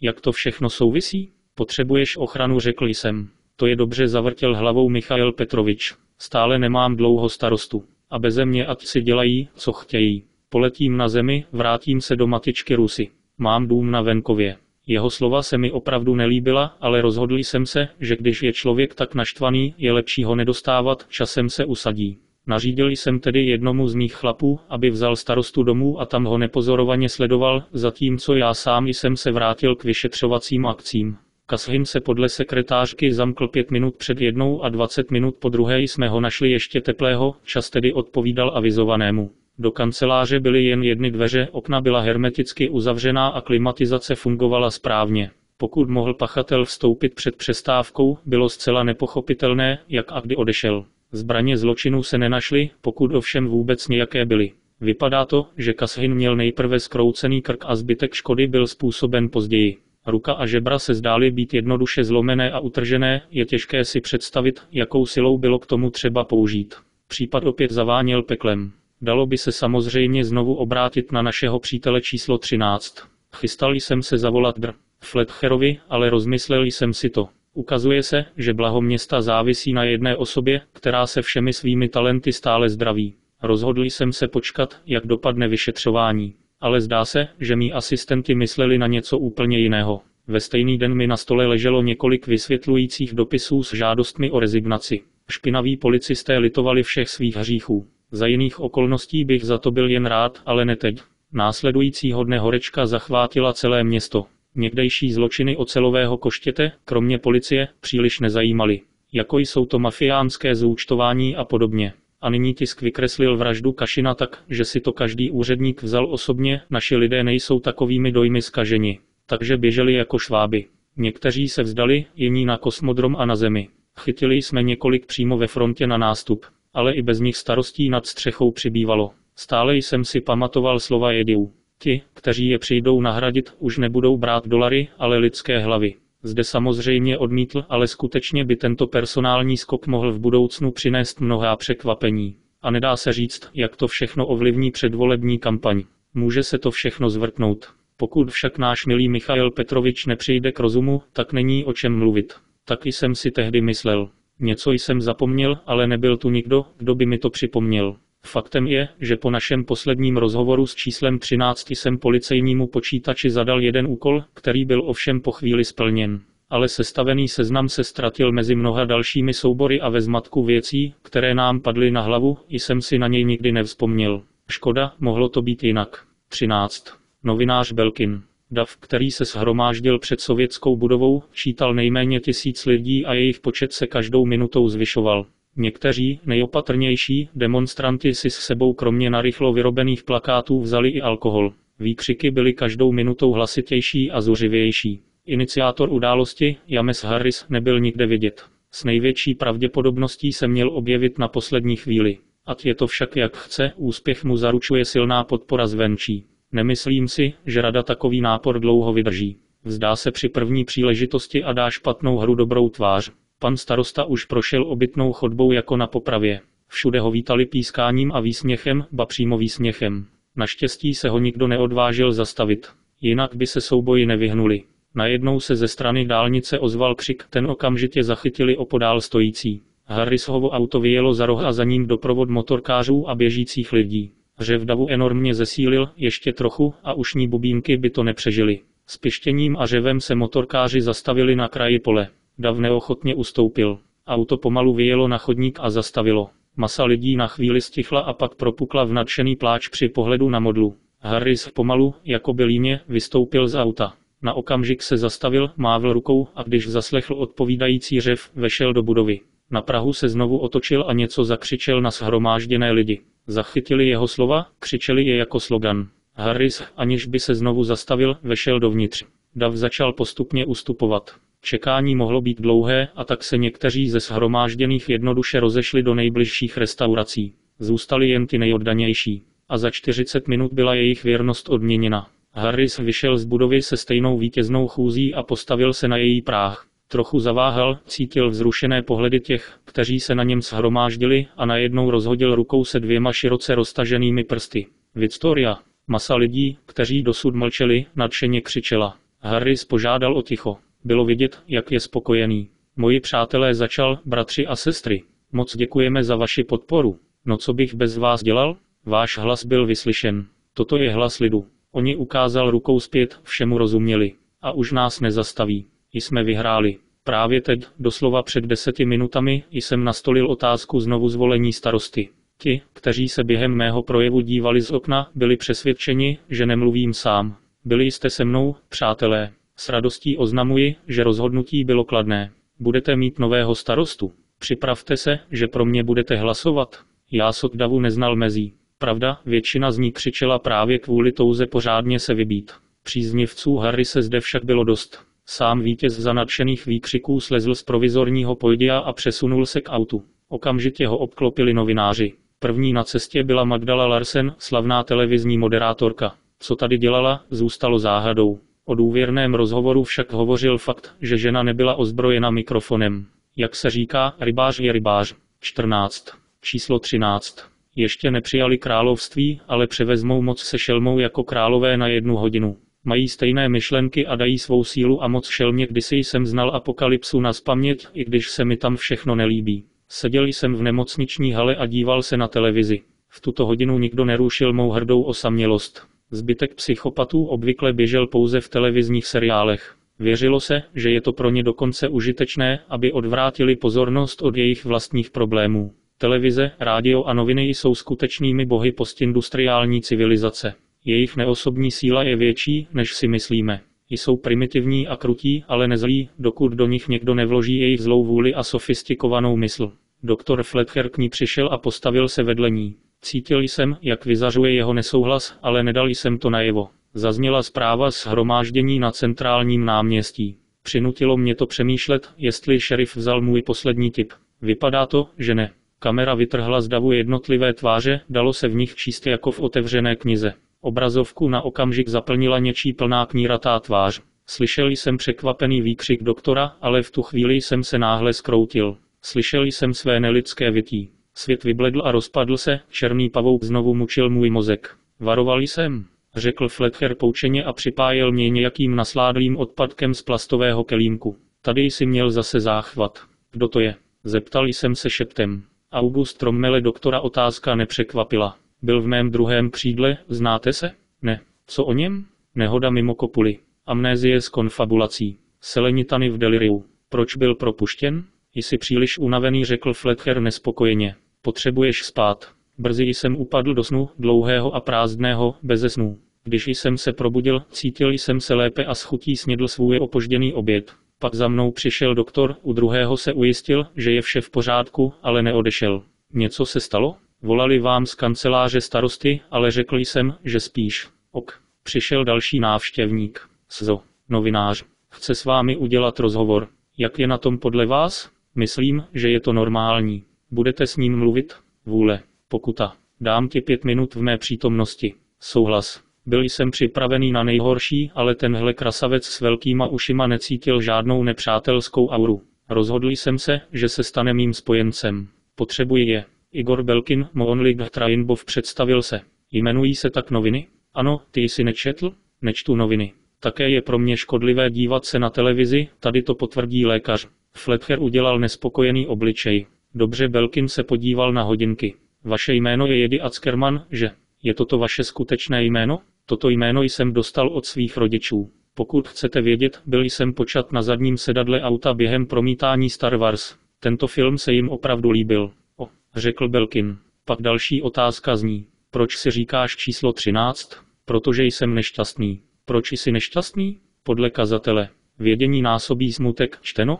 Jo přikývl Belkin moudře. Byl jsem si jistý, že nečetl kazatele, ale teď se o to při první příležitosti pokusí. Vidíš, pokračoval jsem. Prožil jsem nejeden, ale mnoho životů. Pamatuji si jen posledních pět, ale to je víc než dost. Žiji historií. Viktoriánská Anglie, první světová válka, nacistické Německo, sovětské Rusko, druhá kulturní revoluce v Číně a osvobození Tibetu, nakonec nejednotné státy. To musí být velmi zajímavé, poznamenal Belkin, a může to mít velkou hodnotu pro historiky a sociology. Proč jste se stal soukromým detektivem? Nejsem soukromý detektiv, jak můžete opakovat.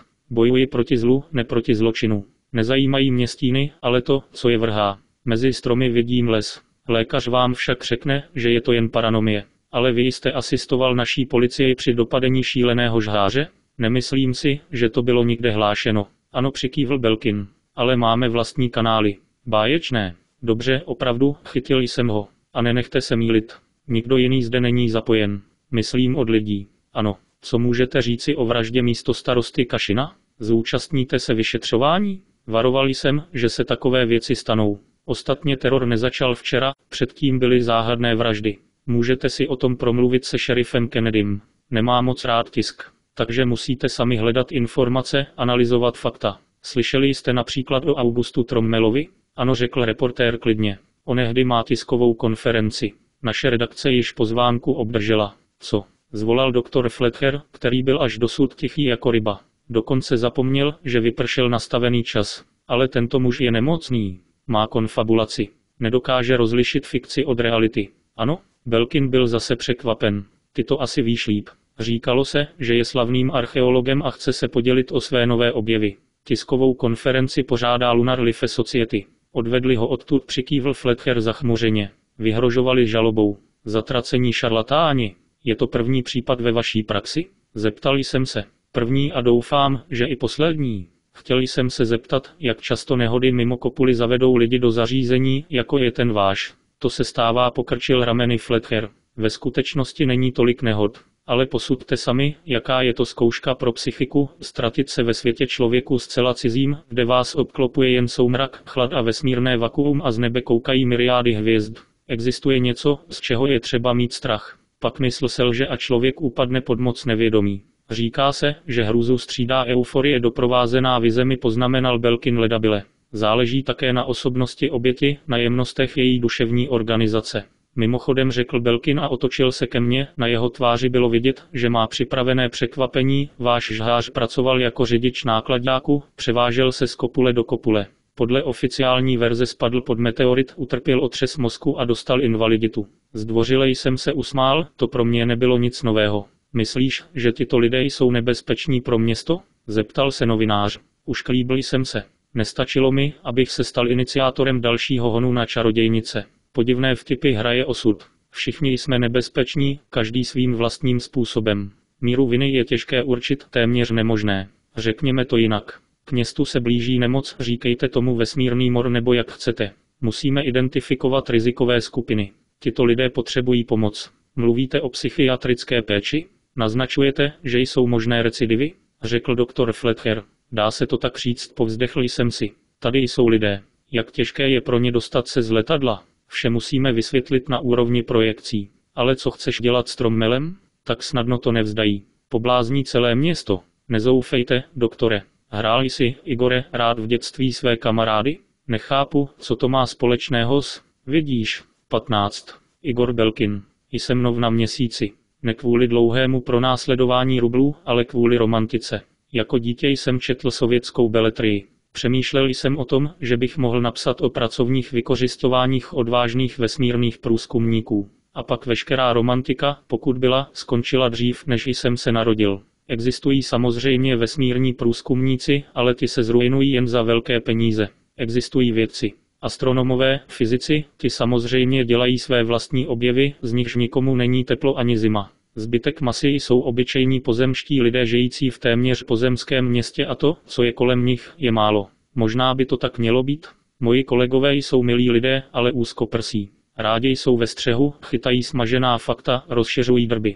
Máme také několik vysoce uznávaných analytiků, ačkoliv jejich analýzy jsou všechny generované počítačem. Žádný úlet myšlenek. Redakce mě považuje za excentrika a filozofa. Taky jsme se rozhodli, že najdu společnou řeč s Ackermanem. A sám Bůh nařídil Trommelovi naslouchat. Z mé strany nebyly žádné námitky. Abych byl upřímný, sám jsem cítil, že pod kupolí není něco v pořádku, vše se nějak vymklo z rovnováhy. Ale předtuchy do počítače vkládat nelze. Nyní je číslo 13 jen posílilo. Ví víc, než říká. Možná proto, že nikomu plně nedůvěřuje, nebo prostě nemá slova, kterým bychom rozuměli. Jeho vtip je samozřejmě divoký a svědčí o stavu psychiky, ale co pak říct o mě, interpretovi? Pro tiskovou konferenci si náměsíčníci pronajali prostory starého kina Polaris. Foyer prodávalo obvyklou literaturu pro takové akce. Horoskopy, knihy o ufologii a okultismu. Jak trvalá je pověra? Většina těchto nesmyslů byla napsána před více než stolety a je pečlivě přetištěna a navržena s využitím všech výdobytků moderního designu. Tak to někdo potřebuje? Ne. Publikum bylo jiné. Od renomovaných publikací, které poctivě nakupovali, až po archeologickou senzaci. Byli zvláštní lidé z tohoto světa, kteří propadli svému přirozenému živlu. Byli tam i obyčejní nepoctiví novináři jako já. Nakonec to všechno začalo. Na pojdiu sedělo několik žen v Balzacově věku, pár hezkých starých mužů, jeden velmi elegantní gentleman s uhlazenými vlasy a sám Trommel, který si tu a tam kroutil knírem. Na stole byla plastová láhev s vodou, štítek směřoval ven, aby každý viděl logo sponzora. Elegantní pán vstal a začal mluvit. Nejprve poděkoval všem, kteří tuto konferenci umožnili a vágně zmínil některé nepříznivce. Poté začal vyjmenovávat vědecké zásluhy Augusta Wilhelma Trommela, nebojácného a svobodomyslného badatele obětavě oddaného své práci. Tyto zásluhy byly zredukovány na účast na výpravách za vykopáním některých starověkých osad s nevyslovitelnými jmény. Ale to nebylo to hlavní, ale odvážná teorie o existenci civilizace velkých starých, jejíž stopy opakovaně nacházel ve svých vykopávkách. Konečné potvrzení našel zde na měsíci. Během řeči nebojácný badatel utopil vodu brýlemi, takže jsem měl pochybnosti, zda se plán neuskuteční s předstihem, pak se vtip nepovede. Když se Trommel dostal ke slovu, publikum už bylo docela zaujaté. Řečník z nějakého důvodu vstal, opřel se rukama o stůl a vrhl chladný pohled na modré oči, které se shromáždily. Bylo ticho, vzduch byl naplněn středověkou hrůzou. Musel to být klam smyslů, ale jen Trommel se nějak změnil, nestál před námi měštan, ale rytíř, i když bez brnění. Jeho hlas byl tak tichý, že jakoby vycházel ze země. Pozor, lidé, vysocí neznámí, dědicové velkých starých, k vám mluví. Náš svět je mrtvý, ale společně ho můžeme obnovit. Dosáhli jste měsíce, sídla Bohu, ale cestu vám otevřou jen vyvolení. Na ty, kdo půjdou s námi, čeká skvělá budoucnost. Stanete se mistry hvězd, mistry světů. A ten, kdo nás odmítne, zapadne v prach a zmizí beze stopy. Plamen Asgardu očistí svět od špíny. Poslední slova pronesl Trommel se zjevnými obtížemi, už byl skroucený, oči mu vylezly z důlku, ale neznámá síla ho nechtěla pustit, až se mu najednou celé tělo sevřelo v křeči, z úst mu vystříkly tekuté zvratky, na stůl a na ty, kteří sedí v první řadě. Poté se Augustus Wilhelm bezmocně sesunul přes stůl, obrátil oči v sloup a už se ani v nejmenším nezajímal o zmatek, který kolem něj vládl. Ordinátoři k němu spěchali. Předseda se jim snažil něco vysvětlit, ale bylo to zbytečné. Vtip měl úspěch. 16. Sheriff Kennedy. Moje nálada byla špatná a problémy každým dnem přibývaly. Nejprve strašili Harrisovi Stormtroopeři. Nebyl jsem to já, kdo je tak nazval, ale Michail Petrovič, který vše viděl v ještě horším světle. Lidé se samozřejmě shromáždili různí. Všechny spojovala touha nastolit pořádek, kdo to pochopil tak, jak to bylo. Bylo zorganizováno velitelství, ale nikdo ho skutečně neposlouchal a tam netrvali. Výsledkem byla parta lidí, kteří se potáceli po městě, zasahovali do všech záležitostí, prali se s policií a šikanovali každého, koho neměli rádi. Je dobře, že nedostali seriózní zbraně, i když mnozí měli své vlastní. Oficiálně jsme dostali příkaz ke spolupráci, ale ve skutečnosti jsme byli nuceni tuto hordu ovládat a nevždy úspěšně. Místo slíbeného rozkazu nastal další zmatek. Stále častější byly boje na základě rasové nenávisti. Za nejasných okolností bylo několik lidí zraněno. Pachatelé zůstali nepotrestáni a skrývali se pod křídly Harrishe. Situace byla čím dál výbušnější. Za druhé, vyšetřování případu Kashim se dostalo do slepé uličky, stejně jako předchozí případy zločinů ocelového koštěte. Hned se dalo předpokládat, že tomu tak bude, ale veřejnosti se to vůbec nelíbilo. Opozice začala mluvit o ruské mafii a jejím zúčtování. Zajímalo je, do jaké míry se starosta podílel na zločinech jeho zástupce. Pokud jde o identitu vraha, byly učiněny ty nejdivočejší domněnky, až po trest páně nebo intriky ďábla. Jednoho z těch bláznivých dnů mi bylo řečeno, že se se mnou chce sejít novinář Igor Belkin. Myslel jsem, že když je Rus, je nepravděpodobné, že je z opozice. Nemyslete si, že jsem tak spolitizovaný, šerif musí chránit zákon pod jakoukoliv autoritou. Ale ne s takovou, která sama zařídí chaos. Myslel jsem, že se mnou chce znovu udělat rozhovor, ale nebylo tomu tak. Belkin se spikleneckým výrazem vytáhl ze svých prsou fotografii a položil ji na můj stůl. Podíval jsem se a uvědomil jsem si, že snímek byl pořízen během mého pronikání do Kashinovy kanceláře, byla vidět mrtvola, ale z nějakého důvodu ji blokovala něčí tmavá silueta. Komu by mohl patřit, není jasné, mně určitě ne, ale nikdo jiný tehdy do kanceláře nevstoupil. Kdo je to? Zeptal jsem se. A co si myslíš ty? Belkin se zasmál. Nikdo tam nebyl. Musí to být fotomontáž. Ne, Kdybych si tím nebyl jistý, nepřišel bych k vám. Je to vážná věc. Chceš říct, že ta fotka je zabiják? Samozřejmě. Poslyšte, byl jsem tam já a dalších asi deset reportérů, všichni dobře viděli, že kancelář je prázdná. Ano, a u většiny z nich se později ukázalo, že film exponovali a videokazety byly demagnetizovány. Vy jste o tom nevěděl? Ne, neměl zájem. To je škoda. Tento obrázek je jediný, který ukazuje, s čím máme co dočinění. Když si to fotograf uvědomil, chtěl to zničit. Odpověděl jsem. Proč to tedy nezveřejníte? Bude senzace. Neviditelný muž na měsíci. Selenitů pro nás bylo málo, proto to nezveřejňujeme. Představte si, co začne masová hysterie. Každý bude pod postelí hledat neviditelné. A ty jsi zodpovědný za pořádek ve městě, dokonce i za Harrisovi zločince. Považujte to tedy za projev občanského vědomí a dobré vůle z naší strany. Opravdu věříte v neviditelné? Není to tak neuvěřitelné. Nemuseli jste strávit hodiny hledáním nějaké věci nebo papíru, který vám celou tu dobu ležel pod nosem? Nemůžete odpovědět. To je řečnická otázka. Často se díváme, ale nevědíme. A vzhledem k výdobytkům moderní psychologie není o čem mluvit. Proslýchá se, že to patří k praktikám některých speciálních služeb, ale proč toho zločince nevyužít, že obrázek nechám na vás. Mohu dostat negativní, pokud to pomůže při vyšetřování. Proč jste se rozhodli nám pomoci? Protože pod touhle kopulí jsou stále lidé, kterým záleží, když všechno jde dolů. Mimochodem, ahoj z čísla 13.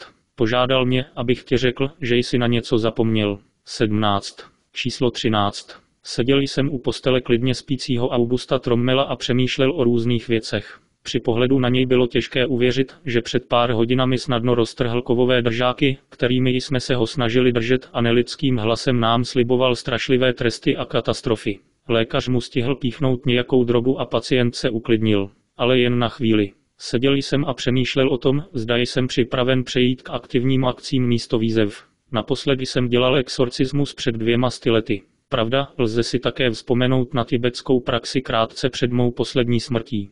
Co mám dělat, když moje citlivost je odvrácenou stranou síly a znalostí a každý útok mi je bere? Zdá se, že nezbývá nic jiného, než riskovat. Všechno jsem zařídil, řekl Fletcher, když vstoupil do místnosti. Je náš. A teď nepustím šílence ani na práh. Pokud chtějí žalovat, ať to zkusí. Pravda je na naší straně. Nedělejte si starosti, doktore. V takovém případě můžete vše připsat spiknutí krvelačného šílence a skorumpovaného novináře. Nejsi blázen, jedi. Jsi nemocný, ale neblázen. Díky za pochvalu. Měli si pravdu s recidivami, jsou pozorovány. Několik lidí bylo hospitalizováno. Několik dalších šlo na útěk. Doufám, že jsou ještě někde pod kopulí. Varoval jsem své kolegy, bohužel ne všichni mi věřili. Mluvil jsem s psychoanalytiky. Říkají, že mnoho lidí si stěžuje na sny o měsíci, ve snech mají nehody, dokážete si to představit? Zní to jako duševní epidemie, pokud je to možné. Víš o tom víc než my, jedi, musíš nám pomoci. Všem něco dlužím.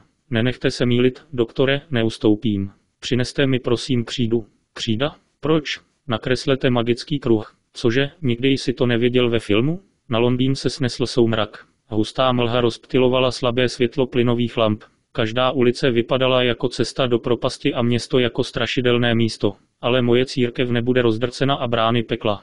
Vstoupil jsem do spovědnice, posadil se, upravil si sutanu obvyklým pohybem a připravil se poslouchat. Požehnej, otče, protože jsem zhřešil, řekl hlas. Bylo v něm něco děsivého, nadpozemského. Slyším tě, můj synu. Zabil jsem všechny ty ženy. Co? Neslyšel jsi o tom, svatý otče? Celé město o mně mluví. Říkají mi Jacku, ale neznají mé skutečné jméno. Jack Rozparovač? Je to svatý otec. Ale proč je to tak neslušné? Nejsem řezník. Udělal jsem všechno, jak mi mistr nařídil. A to je celé umění. Kdo vám nařídil? Kdo je tvůj majitel? Co myslíš, svatý otče? Musíte ho znát. A pochopil jsem, o čem mluví. Svírala mě hrůza a zároveň neodolatelné pokušení postavit se nepříteli lidské rasy. Naklonil jsem se k oknu, které nás oddělovalo. Hromada tenkých šedých chapadel mi šplouchla do obličeje. Propletli mi hlavu. Někteří mi lezli do uší a nosních dírek a způsobovali divokou bolest, jiní se mi snažili vydloubnout oči a prolézt přes zavřené čelisti do úst, jiní mi stiskli krk ve studeném prstenu. Ztratil jsem vědomí bolestí a dušením, mé duše se zmocnila nesnesitelná hruza. Peklo bylo na zemi. A pak jsem měl zjevení. Všechno jsem si pamatoval a chápal, co se děje. Síla, která si zvolila Trommela jako svého průvodce, hrála na poli mé paměti. Uvědomil jsem si to, zničil jsem noční můru se snahou vůle a přesunul se na další úroveň. Ležel jsem v páchnoucí louži, krvácel jsem hnisem a krvácejícím močem na kovové podlaze své cely, vyčerpaný pekelnou bolestí a modlil jsem se k pánu za smrt. Ale smrt na mě zapomněla. Těžké dveře se otevřely a vstoupil muž. Předtím jsem ho neviděl. Byl bez ochranného obleku, ve zcela nové uniformě SS. Tvář nově příchozího se skroutila do nechutného úsměvu. Ahoj, Firefly. Tak mi říkali moji katy. Ve tmě jsem opravdu vydával tupou na zelenalou záři, byla to moje krev nasycená radioaktivními izotopy, která zářila. Atomový oheň pohltil mé maso. Experimentátory zajímalo, jak dlouho budu žít. Dokonce uzavírali sázky. Každý den někdo prohrál. Muž ke mně přišel a kopl botou. Můžeš mluvit? Ano, zaskřehotal jsem a byl překvapen. Tento zvuk nezněl jako lidský hlas. Dobře zasmál se znovu. Promluvme si. Ale nejdřív. Ležérně mávl rukou a moje cela se proměnila. Stěny a strop se někde v dálce rozestoupily, všechno se změnilo. Teď jsem ležel na podlaze v kamenné kopce, osvětlené karmínovým světlem pochodní. Všude kolem byl jakýsi pohyb, byly slyšet zvuky kroků, šustění šatů a rachot hlasů. Vedle muže v uniformě SS se objevily tři čarodějnice v průsvitných hábitech. Poslechli pohyb jeho ruky, přistoupili ke mně a zabořili své ostré zuby do mého rozkládajícího se těla a začali vysávat radioaktivní krev, tak se mi to alespoň zdálo. Bolest zmizela, cítil jsem nevýslovnou úlevu. Rány se rychle hojily, síla se mi vrátila. Po pár minutách se mi podařilo vstát. Dobře, opakoval můj zachránce, chci s vámi uzavřít smlouvu. Dám ti zdraví a dlouhý život plný radostí. Jsem štědrý ke svým služebníkům. A po smrti půjdeš do mého světa. Věř mi, je úžasný. Vaše země je jen jejím ubohým odrazem. Tam jsou lidé rovni bohům. Nevěřím ti. Proč? Znám tě. Nicota. Nikdo mě nezná. Pošlu tě zpátky shnít zaživa. Bojíš se jít do pekla? Pro tebe je peklo na zemi. Vaše agonie bude trvat navždy. Stěny kolem mě se začaly zmenšovat a v tom okamžiku přechodu jsem byl schopen přerušit řetězy bolestivých iluzí. Byl učiněn další krok. Z hora padala jemná vodní mlha. Zdálo se, že nebe padá k zemi. Ve městě i na venkově vládla noc. V oranžovém světle lucereny jsme zapomněli na čas. Později o nás řeknou. Přišli bránit demokracii, parlament, prezidenta. Plochá novinová slova. Přišel jsem, protože jsem byl unavený ze strachu. Přišel jsem zachránit svou duši před nadcházející temnotou a šílenstvím. Byl jsem součástí živého kruhu. Čekal jsem na svůj Armagedon. Ohlásili se s řevem jako při zemětřesení. Ale čím blíže, tím zřetelněji bylo slyšet zlověstné chřestění a řev obrněných monster. Stál jsem uprostřed prázdné ulice, v cestě. Objevili se spod mostu jako z podsvětí, připraveni přinést smrt a zkázu. Tak se naplnili noční můry a proroctví. Nesmíš se bát. Strach je zbraní temnoty. Šel jsem směrem křivoucím autům. Věděl jsem, že žádná smrt neexistuje. Kovhousenek skřípal po mých kostech a krev se mísila s deštěm na mokrém chodníku. Ocitl jsem se na vrcholu světa. Uprostřed věčného ledu jsme byli tři. Já, můj nepřítel a ohnivý kámen, poklad hor. Nepřítel se přiblížil. V záři kamene jsem viděl jeho tvář. Kdysi byl tento muž mým přítelem, ale od té doby tam byla jen skořápka. Tvor stojící před druhým zabil našeho mistra. Stal jsem se strážcem kamene. Od této chvíle ležel osud lidstva na mých bedrech. Můj hlas prolomil ticho věčnosti.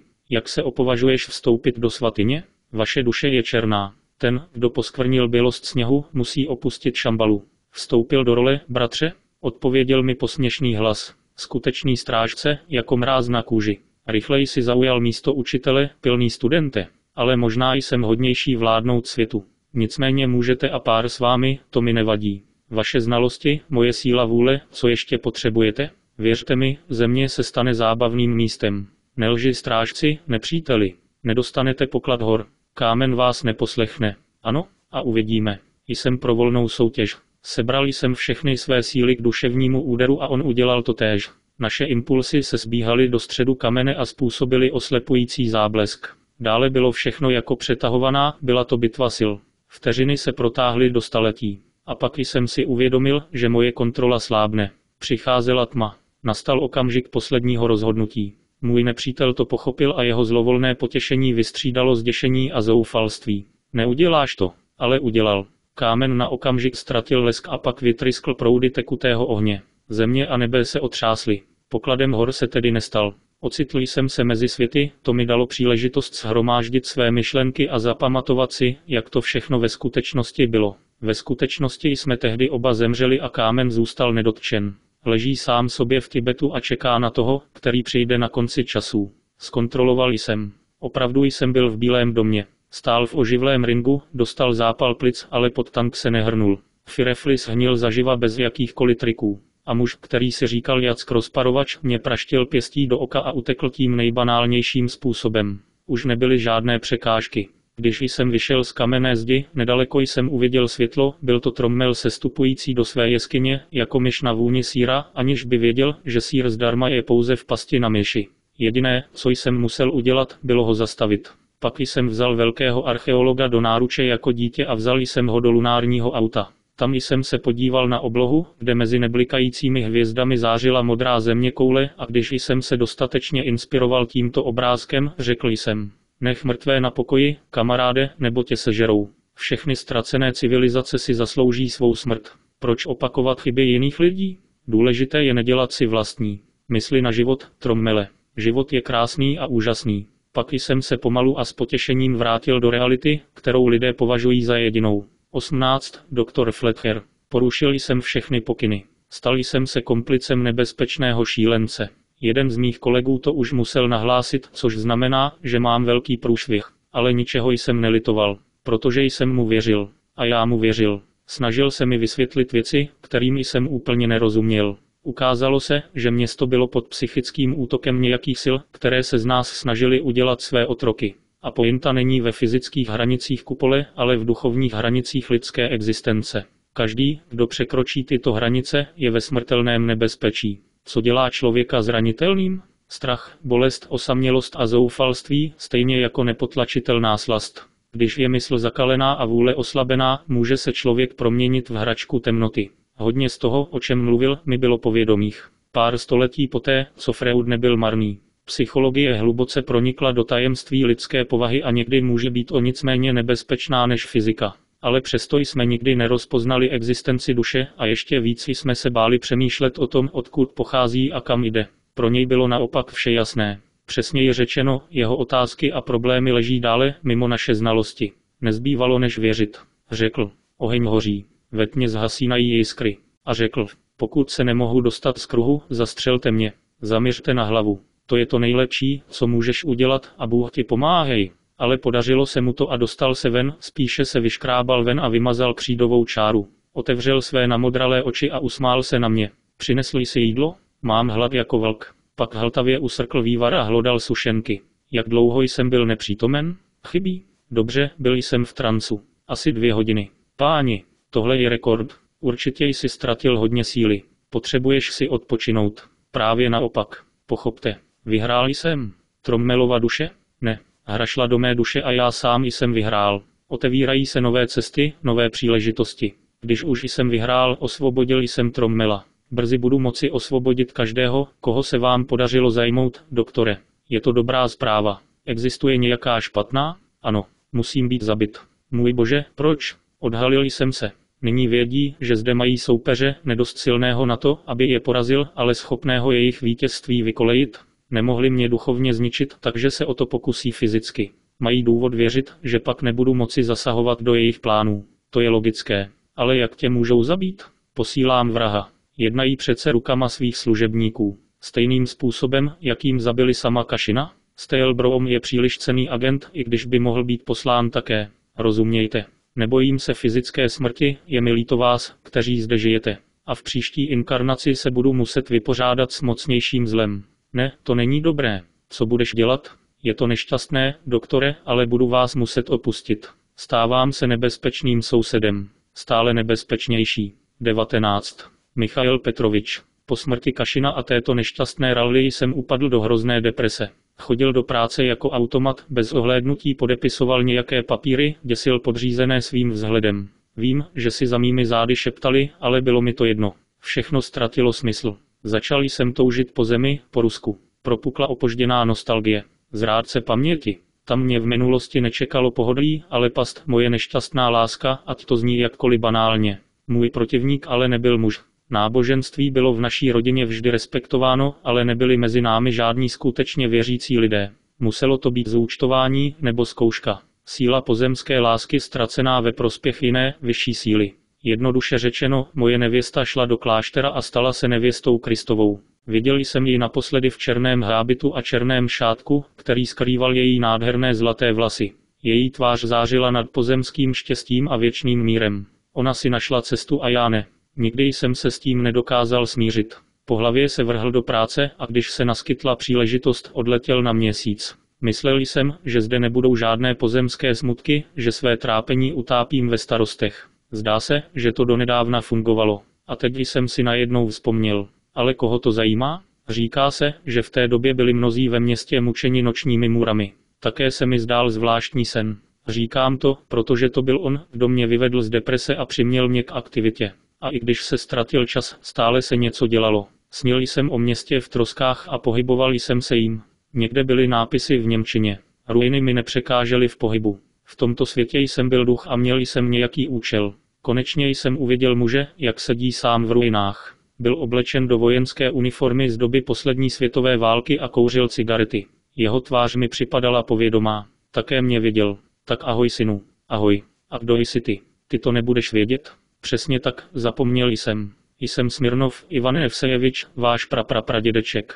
Bůh ví kolikrát, dědečku. Teď si vzpomínám, kde jsem to viděl. Staré fotografie jsou zachovalé, ploché a černobílé. Ivan Evsejevich zemřel ve válce při obraně naší vlasti. Co je to za místo? Berlín, jeho matka jede tam. Prošel celou válkou a těsně před vítězstvím. Obecně mě zabili. Takže od té doby tu sedím a kouřím. Myslím na tebe, na živé. Jak se máš, Petroviči? Říká se, že vylezl na měsíc a stal se velkým šéfem. Udělal povzdechl jsem si a posadil se vedle něj. Ano, je jasné, že mé světlé dny skončily. Co je? Zmlátili mě, tati. Ze všech stran. Vinen všude kolem. Eh, začalo to. Pojď, řekni mi, že je všechno v pořádku. Podívejte se a něco vymyslíme. Začal jsem vyprávět. Nejprve váhavě volil slova a pak se dokonce nechal unést. Když jsem skončil, ve vzduchu bylo ticho. Potom si Ivan Jevsejevič slastně odplivl a jeho sliny prošly mými přízračnými botami. Jaký jsi čurák, synku? A vypadá jako dospělý muž. Ano, vidíte, Smirnovové byli rozdrceni, degenerovaný jako jablka. Nevěděl jsem, co odpovědět. Víš, co je to válka, ty hlupáku? Co jsou to tábory? Co jsi za svůj život viděl? Štěně. Už nemáme žádné války ani tábory. Budou, tam je jejich matka. Jak dát napít udělají, když sklopíte ruce. Zasranej trpící. Musí se to udělat, to je ono. Co se děje? Vaše věc. Vy jste šéf, za všechno můžete vy. Město musí být zachráněno. A pak budete mít takové věci, nebude se vám to zdát dost. Řekl jsi mi tady o Harrisovi. Co je zač? Štěně jako ty. Vždyť z takového štěněte může vyrůst vlk. Proč takové křiklouny neznáme? Jedna byla a jak skončila, kývl předek na ruiny, které nás obklopovaly. Tak o tom přemýšlejte. Proč brečíš? Pokračoval. Živý, zdravý, volný, ruce a nohy na místě, hlava taky. Je třeba bojovat. Nikdy nevíte, co říkají, vždy tu budou zlé jazyky, všichni tam, ale nenechte se unášet. I když jsou tam vaši lidé jiní, stále nejste hlupák. Připravte se na své volby. A když prohrajete, nevadí. Ještě není konec světa. Pokud podnikáte, vyhrajete zpět. Všechny zavřeš za pás. Takže synu, pamatuji si, že jsem byl zaskočen jeho hrubostí. Myslel jsem, že neví nic o našem světě a jeho zákonech. Ale krutá pravda jeho slov se mi vrila do duše. I když ve skutečnosti to byl asi rozhovor se sebou samým, hra podvědomí, která mi otevřela druhý dech. Ale od té doby často myslím na Ivana Evsejeviče a už mě to nezajímalo. 20. James Harris. Už nějakou dobu se mi zdají zvláštní sny. Ani jsem o nich neřekl svému psychoanalytkovi. Najednou mě napadlo, že mě prodá mým nepřátelům a ty by mi mohli narušit volby a dokonce mě schovat v psychiatrické léčebně jako trommela. Další drobností je pro ně osobní sekretářka. Kdo lépe než ona zná svého šéfa a všechna jeho slabá místa? Začal jsem mít vůči Lauře podezření. Ona zase předstírala uraženou nevinnost a náš vztah se úplně zhoršil. Zároveň mě to táhlo k Magdale. Náš pocit se ukázal být vzájemný, ale bylo v něm něco zvláštního. Jako by se nás osud dotkl jedním křídlem. Takže o snech. Jednoduše řečeno, byly to sny o moci a moci.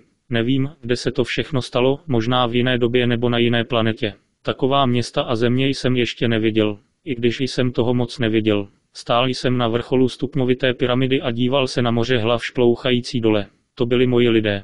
Mluvil jsem na něj a můj hlas byl jako hrom.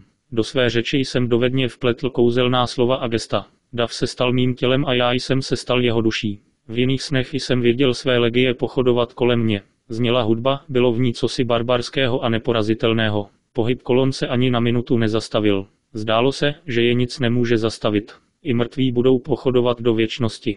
Něco se ale přece jen stalo, velké město bylo opuštěné, zarostlé džunglí a v noci se ozývalo vytí neznámých tvorů. Sny byly divnější a divnější, myslím, že to říkávala Alenka v říši divů. V některých jsem byl drakem létajícím nad městy a vesnicemi, chytal vlny hrůzy z nich vycházející a zapaloval je ponurou radostí. V jiných jsem nebyl nic menšího než Bůh. Buď dřevěná modla pějící krev rituálních obětí, nebo kamenný obr, který byl svědkem mystických tanců krásných kněžek. Ale to, co se nám stalo ten večer s Magdalou, zablokovalo všechny předchozí triky. Pamatuji si, že jsme vlezli do postele a pustili se do práce, když jsme najednou onemocnili. Vysel jsem ve vesmíru, ve středu hvězdného víru, na křižovatce energetických toků. Viděl jsem Magdalu. Letěli jsme proti sobě. A čím jsme byli blíž, tím rychleji jsme měnili tvar. Byla krásná, lidské tělo není schopno dosáhnout takové dokonalosti, byla to krása bohyně. Spojili jsme se a oddávali se extázi božské lásky. Naše těla zářila, všude kolem šlehaly blesky. Úplnou spokojenost nám to ale nepřineslo. Pak jsme se proměnili v draky. Moje kamarádka byla krásná se svou chladnou šupinatou kůží, velkými plovacími křídly, drápatými chodidly, bradavičnatou tlamou a černým rozeklaným jazykem. Oddávali jsme se primitivní vášni, mávali křídly ve vytržení, kousali se do krku a škrábali drápy. Ale ani to nebyl konec. Stali jsme se obřími slimáky a spojili jsme se do smyslného obětí ve dvou šroubovici. Neuvěřitelná citlivost tenké, sliské kůže poskytovala nepopsatelné potěšení. Už jsme nebyli muž a žena, muž a žena. Slimáci jsou hermafroditi. Pak jsem si o tom přečetl v knize a nejdřív jsem to zažil na vlastní kůži. Tam jsem si ve snu uvědomil, že tohle je moje pravé já. Když jsme ale z hlavy vypustili na modralé trubičky pohlavních orgánů, když se propletly s chapadly, moje lidské já to nevydrželo. Síla znechucení mě vytrhla z této erotické noční mury. Leželi jsme s Magdalou nahé a tiskli se k sobě, až to bolelo. Naše oči byly prázdné a šílené. Nejdřív jsem se vzpamatoval a pustil ji z náruče. Odtáhla se a její pohled nabil smyslu. Co to bylo? Jak to mám vědět? Zdálo se mi, že jsme šneci nebo tak něco. Já také. Podezřívavě se na mě podívala, jako bych to všechno připravil. Nechápavě jsem na ní zíral, líbila se mi. Nedívej se na mě. Nakonec neodolala. Odcházím. Je to tak trochu noční mura. Kde, v tuto hodinu? Ulice jsou nebezpečné. Dobře, tak si lehnu do obýváku na pohovku. Pojď, jsem na pohovce. Zde budete mít větší pohodlí. Ne, nezůstanu tady. Pokrčil jsem rameny a zabalil se do deky. Snil jsem o vojenských pochodech. Ocelové legie pochodovali do věčnosti. 21. Doktor Fletcher. Odcházel. Mohl bych ho zastavit? Mohl samozřejmě zakázat, zavřít, postavit speciální stráže. Ale to znamenalo zradit ho, dát ho do pasti, dát ho na stříbrném podnose silám, které ho chtěli zabít. Stále jsem je nemohl zastavit. Rozhodl se odejít, aniž by řekl kam a možná i aniž by to sám věděl, spoléhal pouze na intuici. Před odjezdem se chtěl rozloučit s Igorem Belkinem. Zavolal jsem mu a on okamžitě přispěchal s hlasovým záznamníkem. Najděte si čas na rozhovor. Ale Jediovi to nevadilo, bavilo ho to. Mluvte. Novinář ho každou chvíli prosil. Co říci něco? Všechno, co víš. Všechno, co si myslíte. Cokoliv chceš. Jedi se zasmál a promluvil. Hodně z toho, co řekl, bylo docela věrohodné, hodně z toho bylo prostě neuvěřitelné. Poprvé jsem se dozvěděl o hrůzách jeho putování nevěditelným světem a požehnal jsem svému osudu za to, že mě vysvobodil z tohoto daru. Byl jsem nervózní. Bál jsem se, malinký strach, že ho zde v mém panství zastihne smrt. Jako kdyby se to stalo mimo práh, pak bych s tím neměl nic společného. Jako byste nemohli mít nic společného s naším bláznivým světem. Nakonec řekl, je čas. Kam jdeš? Zeptali jsme se ho naposledy. Pojďme na cestu. Jak vás kontaktovat? Je lepší se se mnou nebavit. Odešel v noci a zmizel ve tmě. Sundal jsem si brýle a zakryl si obličej, aby slzy neutekly. Belkin mě přátelsky vzal za loket. Pamatujte si, doktore řekl tiše. Světlo svítí ve tmě a temnota ho neobjala. Věřím, že mu vše vyjde. 22. Agent Havk. Mým úkolem bylo zabít nevěditelného. Byl to přísně tajný projekt. Není divu, že získal tolik pověstí a drbů. Lidské tělo samozřejmě nelze učinit nevěditelným tak, jak o něm napsal H.G. Wells. Ale jeden člověk může druhého inspirovat tak, že ho nevidí. Pro použití této technologie je nutné přenést takový návrh do automatismu. Neviditelný byl vyroben z nejobyčejnějších lidí. Samozřejmě potřebovali lidi imunní vůči hypnoze, kteří by se o ně starali. Byl jsem mezi nimi. Subjekt číslo 6 zpočátku vykazoval dobré výsledky, jeho schopnosti rychle postupovaly, ale pak se objevily příznaky schizofrenie. Tvrdil, že slyší jakési hlasy. Nejjednodušší bylo ho i tehdy zničit, ale místo toho se experimentátoři pokusili něco v jeho mozku opravit a neúspěšně. Invisible Man utekl, brutálně zasáhl proti strážím a my jsme ho na dlouhou dobu ztratili. Později se analytické oddělení začalo zajímat o dění na měsíci. Panoval názor, že se tam provádějí nějaké testy, ale kdo a co se zkouší, to se ani v prvním přiblížení nepodařilo zjistit. Nakonec došli k závěru, že série záhadných vražd, které byly hlášeny, byly dílem našeho sboru. Byl jsem poslán to vyčistit. Ale v první řadě bylo potřeba se ujistit, že tam je. K tomu jsem byl vybaven speciálním zařízením. Na Zemi nám toto opatření nepomohlo, ale zde, pod kupolí, se na obrazovce radaru okamžitě objevila blikající tečka. Rozhodl jsem se nebyčovat horečku, ale pozorovat činy nevěditelného muže. Několik dní však své doupě neopustil. Pravděpodobně nevěděl o mé existenci. Ale pak se jedné noci zelená tečka pohnula a začala se rychle pohybovat směrem k hranicím města. Z nějakého důvodu jsem si myslel, že utíká. A tak či onak, nechtěl jsem to ztratit ze zřetele. Mrtvé tělo správce zámku se skrouceným krkem prokázalo můj názor. Na vnějším okraji kopule je měsíční povrch pošlapán a nelze na něm rozeznat potřebné stopy. Snažil jsem se nestratit signál, pohnul jsem se směrem k jeho zdroji a brzy přede mnou byly jen dvě nerovné stopy z měsíčních vozů, které vedly přes panenskou půdu. Nemusíte být velký specialista, abyste to pochopili. Tohle je honička. Buď Mystifold pronásledoval svou oběť, která už prokázala úžasnou vynalézavost nebo úžasné štěstí, vyhýbal se přímému setkání, nebo někdo Mystifolda pronásledoval a on utíkal a není jasné, kdo by to mohl být, snad kromě tajného agenta konkurenční inteligenci, která chce vědět, jak funguje mechanismus nevěditelnosti. Ve skutečnosti logicky vzato, záhadné události měly přitáhnout pozornost nejen našeho analytického oddělení. Nečekaný otřes mě vyhodil z lunárního auta. Další mi zabránil postavit se na nohy. Cítil jsem ve svém těle tupé hluboké dunění. Bylo mi řečeno, že to bylo měsíční zemětřesení, velmi vzácný jev. Před sebou ve směru mého pohybu jsem náhle uviděl karmínové světlo vycházející z země. Toto světlo hrálo na zvednutý prach, který nevytvářel mraky jako na zemi, ale padal jako vějíř. Bylo to moc krásné, ale pak jsem o tom nepřemýšlel. Protože světlo pohaslo a zelený bod na mé obrazovce zmizel. Nestrácel jsem čas a přesunul jsem se na místo činu. Můj měsíční vůz zastavil na samém okraji strašlivé propasti, která se, dalo by se říci, otevřela před mýma očima. Uvnitř už byla úplná tma. Tady skončily stopy těch, které jsem pronásledoval. Byl to konec cesty. Mohl se svrátit domů. 23. Číslo 13. Smrt je konec a začátek cesty. Výchozí bod. Zvrat osudu. Lámám okovy bolestných snů. Přichází probuzení. Otevřu oči a vidím světlo. Část třetí. Roll of Destiny. 24. Michail Petrovič. Je neuvěřitelné, že to trvá teprve měsíc. Stále jsem byl úřadujícím starostou. Rozhodl jsem se vydržet až do konce, dokud je nevyhodí ze židle. Věci nešly dobře. Atmosféra ve městě zůstala stejná. Nevím, jestli Harris zapálil oheň, nebo jestli jsme se stali obětí série nešťastných náhod, ale tenhle chlap udělal všechno, aby oheň udržel. Napětí se stalo normou. Něco se stalo běžným obyvatelům města. Začali pracovat hůř a zlobit se. Nejsem filozof, ale dovolím si jedno zobecnění. Lidé jakoby odpadli od reality, začali se méně věnovat každodenním starostem, každý je jakoby hledal a zároveň se bál něčeho jiného. Hlavní náladou bylo úzkostné očekávání, buď volby, nebo konec světa, nebo příchod selenitů. A jak se zbavit úzkosti a nejistoty, všechny prostředky se zdály dobré. Nikoho nepřekvapily případy vandalismu a chuligánství, loupeže a rvačky. Neposlední roli v tom všem samozřejmě sehráli bouřliváci, kteří naplno realizovali své ideály pořádku a spravedlnosti. Ale proč obvinovat ostatní? Já jako starosta jsem věděl, že i moje ekonomika upadá. Městské služby byly stále horší a horší. Administrativní opatření vedla pouze k hněvu a skryté sabotáži. Po smrti Kašina se v mém aparátu objevilo mnoho nových lidí a nebylo poznat, pro koho skutečně pracují. To vše se týkalo mé volební kampaně. Jednoho blázna nenapadlo nic lepšího, než rozvěsit plakáty s mým obličejem po celém městě, zatímco jiní hlupáci se hned s radostí pustili do úprav, přidali mi knír, pak rohy a pak hvězdy na čelo. Bylo tam také dost nadávek.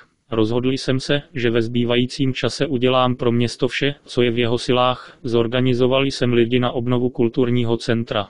Harris to okamžitě nazval window dressing, primárním úkolem byl podle něj boj se zločinem, ale práce pokračovala. Poprvé jsem viděl, jaké úžasné lidi máme, zdálo se, že se jich všeobecné šílenství vůbec nedotklo. To dalo důvod k optimismu. Každý sud medu má ale svou mouchu. Na staveništi se začaly pravidelně scházet podezřelé osobnosti a vyvolávat skandály. Nepochyboval jsem, kdo za tím stojí. Co ještě říct? Zůstával jsem v kontaktu se všemi, kdo se na tajemných událostech podíleli. Jedy Ackerman zmizel, nebo možná by bylo přesnější říci, zmizel ve strachu o svůj život. Po jeho zmizení přišel doktor Fletcher o práci a dokonce i o povolení k výkonu lékařské praxe. Pokud vím, volný čas, který se objevil, věnoval práci na knize, která měla světu odhalit nějakou pravdu s velkým písmenem. Igor Belkin udělal kariéru z rozzlobených a zžíravých článků proti Harrisově straně a nakreslil odvážné historické paralely. Obecně jsem ho počítal mezi spojence.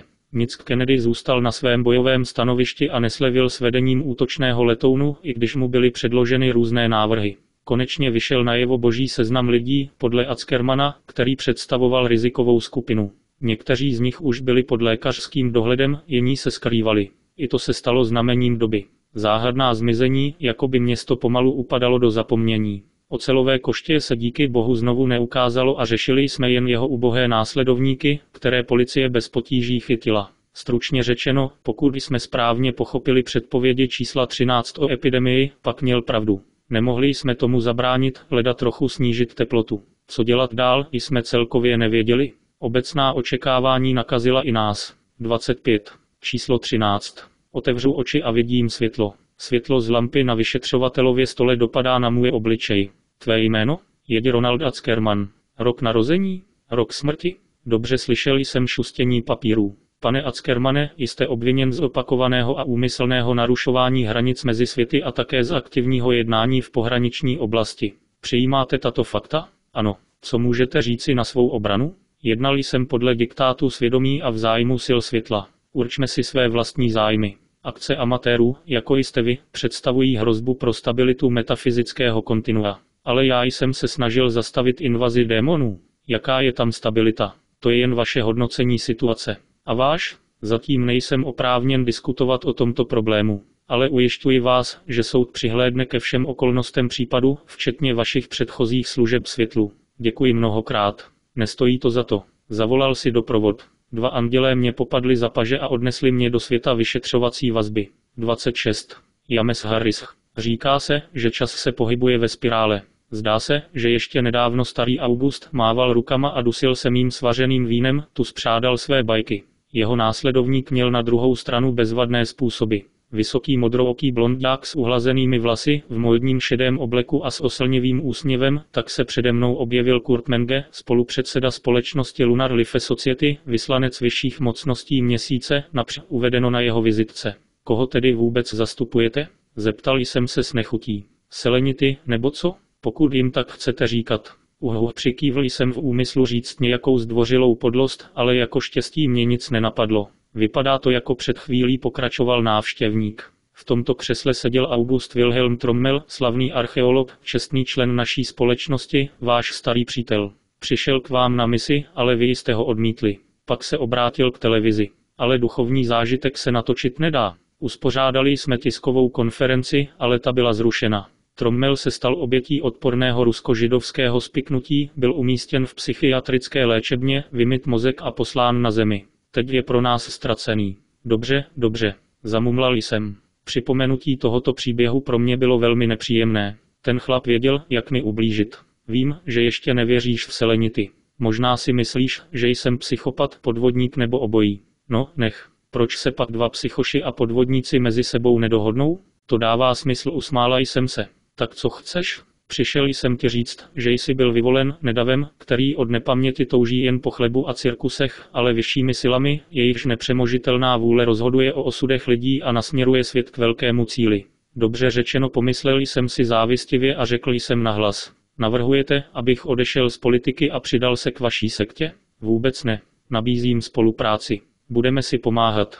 Jak? Usilujete o moc a to je správné, protože jen tak se může naplnit to, co je z hůry určeno. Ale nevidíte správnou cestu, výměnu za maličkosti. Vaše energie se plítvá. Vaši stoupenci se zbytečně bouří na ulicích. Nemáš pozitivní představu. Dáme vám to. Voliči jsou nyní zachváceni úzkostí a strachem, nejistotou z budoucnosti. Potřebují víru a sen. Ať se cítí ne jako banda poražených, ale jako vyvolený národ. A já tedy budu hrát roli Mojžíše? Způsobem. Naše cíle jsou blízko. Hodně to cítíte intuitivně a to je opravdu obdivuhodné. Ano, moderní civilizace je na ústupu, vzniká demokracie. Kultura hníje. Společnost je zavalena vlnou kriminality. Přichází chaos a anarchie, soumrak bohů. Musíme založit novou civilizaci, nastolit nový řád. Vytvoříme společnost dokonalou jako krystal. Uděláme přítrž válek, zločinu a skaženosti. Nepotřebujeme opozici, ani politickou, ani genetickou. Naše cesta je rovná jako šíp. Je třeba odříznout vše nadbytečné, příliš lidské. Samozřejmě se setkáme s prudkým odporem starého světa, především země hnějící zaživa. Proto nyní potřebujeme nezávislost nejen politickou, ale i duchovní. Musíme lidem vštípit nové ideály. Ve stejném duchu řekl mnohem víc. Nedá se říct, že bych se vším souhlasil a nejsem zvyklý, že mi rozkazují i bohové, i když na druhou stranu být vyvoleným z bohů není tak špatné. Podívejte se, vaši protivníci časem padnou na hlavu cihly. Nikdy nevíte co. Je nepravděpodobné, že normální člověk přežije ve své dokonalé společnosti, no, k čertu s ním.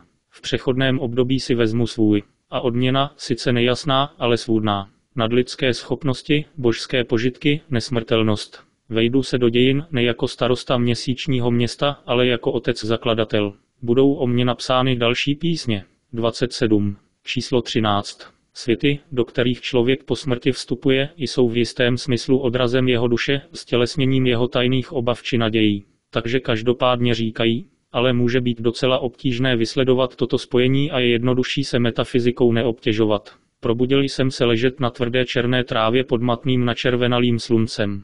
Ležání bylo nepříjemné, vstal jsem a rozhlédl se. Všude kolem byla zvlněná černá pláň. V dálce byly vidět ruiny dosti ponurého vzhledu, buď to byla kdysi velká pevnost, nebo malé město ve středověkém stylu. Nedalo se nic dělat a já tam bloudil. Město se zdálo prázdné, mrtvé. Většina budov byla zničena, vše zarostlo trávou a malými sukovitými stromy. Možná to byl ráj archeologů, kam jsem vstoupil omylem. Putování bludištěm prázdných ulic bylo nudné, dokud jsem si nevzpomněl, že jsem můžu létat. Když jsem se vznesl do výšky ptačího letu, vznesl jsem se v chladném a klidném vzduchu soumrakového světa a přemýšlel o věčnosti. A najednou jsem hluboko dole uviděl malé chvějící se světlo. Byl to nepochybně oheň a někdo ho zapálil. Pohyboval jsem se ve spirále dolů, klesl jsem na zem a vyšel ze tmy k těm, kteří seděli u ohně. Když mě uviděli, vyděsili se a popadli zbraně. Byli to malí muži s tmavou pletí a velkýma očima, vysocí jako moje kolena a jejich zbraněmi byly nabroušené dřevěné kůly. Dal jsem jim čas, aby se na mě lépe podívali, usmívali se a nedělali náhlé pohyby. Pohled na mě je samozřejmě překvapil, ale některým to z nějakého důvodu udělalo radost, začali ostatním něco vřele vysvětlovat.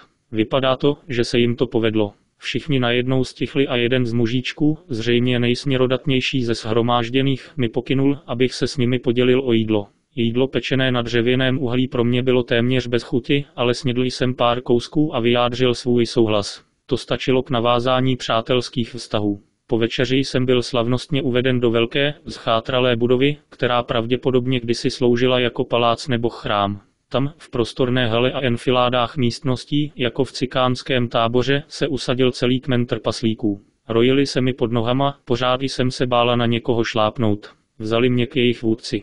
Vůdce, nebo král? Seděl na stupínku asi na úrovni mých prsou, takže když jsme se na sebe podívali, byli jsme si jakoby rovnocenní. Beze strachu mě i s určitou arogancí prohlédl a pak mě oslovil s projevem. Brzy se ukázalo, že nerozumím jedinému slovu. Pak si povzdechl a zakřičel na své blízké spolupracovníky, aby jim pomohli dolů. Když se stoupil, mávl mi rukou a vykročil vpřed, kam si hlouběji do budovy. Následoval jsem ho a dával si pozor, abych nešlápl na jeho šedý kožešinový hábit. Stráže s kolíky zvednutými vzadu. Došli jsme do neobydlené části budovy, téměř nedotčené ničením. Na stěnách jsem viděl basreliéfy zobrazující lidi, ne gnomy, ale mou výšku. Zjevně to byl jakýsi příběh o životě lidí, kteří zde kdysi žili. Místy byly stěny pokryty neznámými nápisy, podobnými starověkým runám. Kdybych je tak mohl číst, podle mě to byli skvělí a úžasní lidé. Samozřejmě, že tito lidé postavili město, ne gnomové ale jejich čas uplynul. Možná mě považovali za cizince z minulosti? Nakonec mě král trpaslíků zavedl ke správnému obrázku, hrdě se natáhl a otočil se ke mně. Stáli jsme před obrazem muže, který byl kdysi vládcem tohoto města nebo země. Muž seděl na trůnu, v jedné ruce měl meč, ve druhé, kouli země, slunce nad hlavou. Trpaslík zjevně naznačil posloupnost moci a možná dokonce podobnost. Náhle mě napadlo. Ano, tento malý muž je potomkem velkých králů minulosti.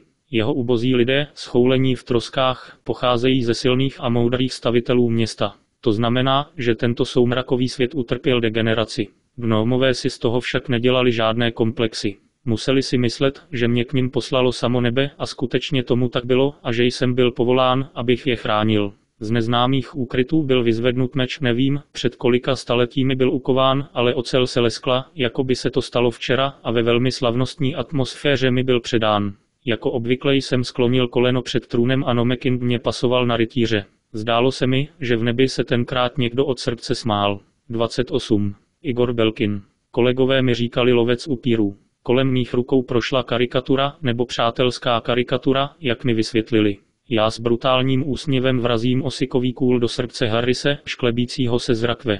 A i když to všechno sešlo na vtip, kterému jsem se smál spolu s ostatními, nějaký chlad ve vztahu zůstal. Rozhodl jsem se, že se jedná o přirozené odmítnutí ze strany těch, kteří slétají po povrchu života, ke všemu, co připomíná jeho temné hlubiny. Z nějakého důvodu jsem věřil, že po zmizení čísla 13 je mou morální povinností pokračovat v jeho boji s prostředky, které mám k dispozici. Po každém odhalujícím článku kráčel hrdě jako krocan a blahosklonně přijímal chválu od svých nadřízených. Tehdy jsem nechápal, že bojuji se stínem, že všechny mé aktivity byly dávno propočítány a zohledněny v něčích ďábelských plánech a bylo mi milostivě dovoleno vylít svou vášeň na papír. Mezitím se James Harris proměňoval z bezskrupulózního politika, demagoga a šaška na hrachu v charismatického vůdce. Tato proměna prošla pro všechny jaksi nepostřehnutelně, ale přišel okamžik, kdy jsme byli strkáni nosem do faktů. Jednoho krásného dne byly po celém městě vylepeny plakáty, které je snazší vidět, než popsat. Text byl jednoduchý. S Harrisem do budoucnosti. Sám kandidát na primátora byl na plakátu také, ale překvapivě proměněný. V obličeji i postavě se snoubila síla, krása, moudrost a noblesa, přesto si zachovala vysokou míru podobnosti s originálem. Muž na plakátu vztáhl ruku nad světem, přesněji nad stříbřitou měsíční plání. Na pláni stálo město, fantastické, s oblouky, kopulemi a věžemi, zjevně stělesňující světlou budoucnost. Gotický podpis zněl Nový Asgard, tedy něco jako posvátné město Kites v místní mytologii. Když jsem cestou z domova do práce viděl takový plakát a pak další a další, někdo odvedl v noci skvělou práci, prožíval jsem akutní pocit viny, skřehotal a bez moci bojoval.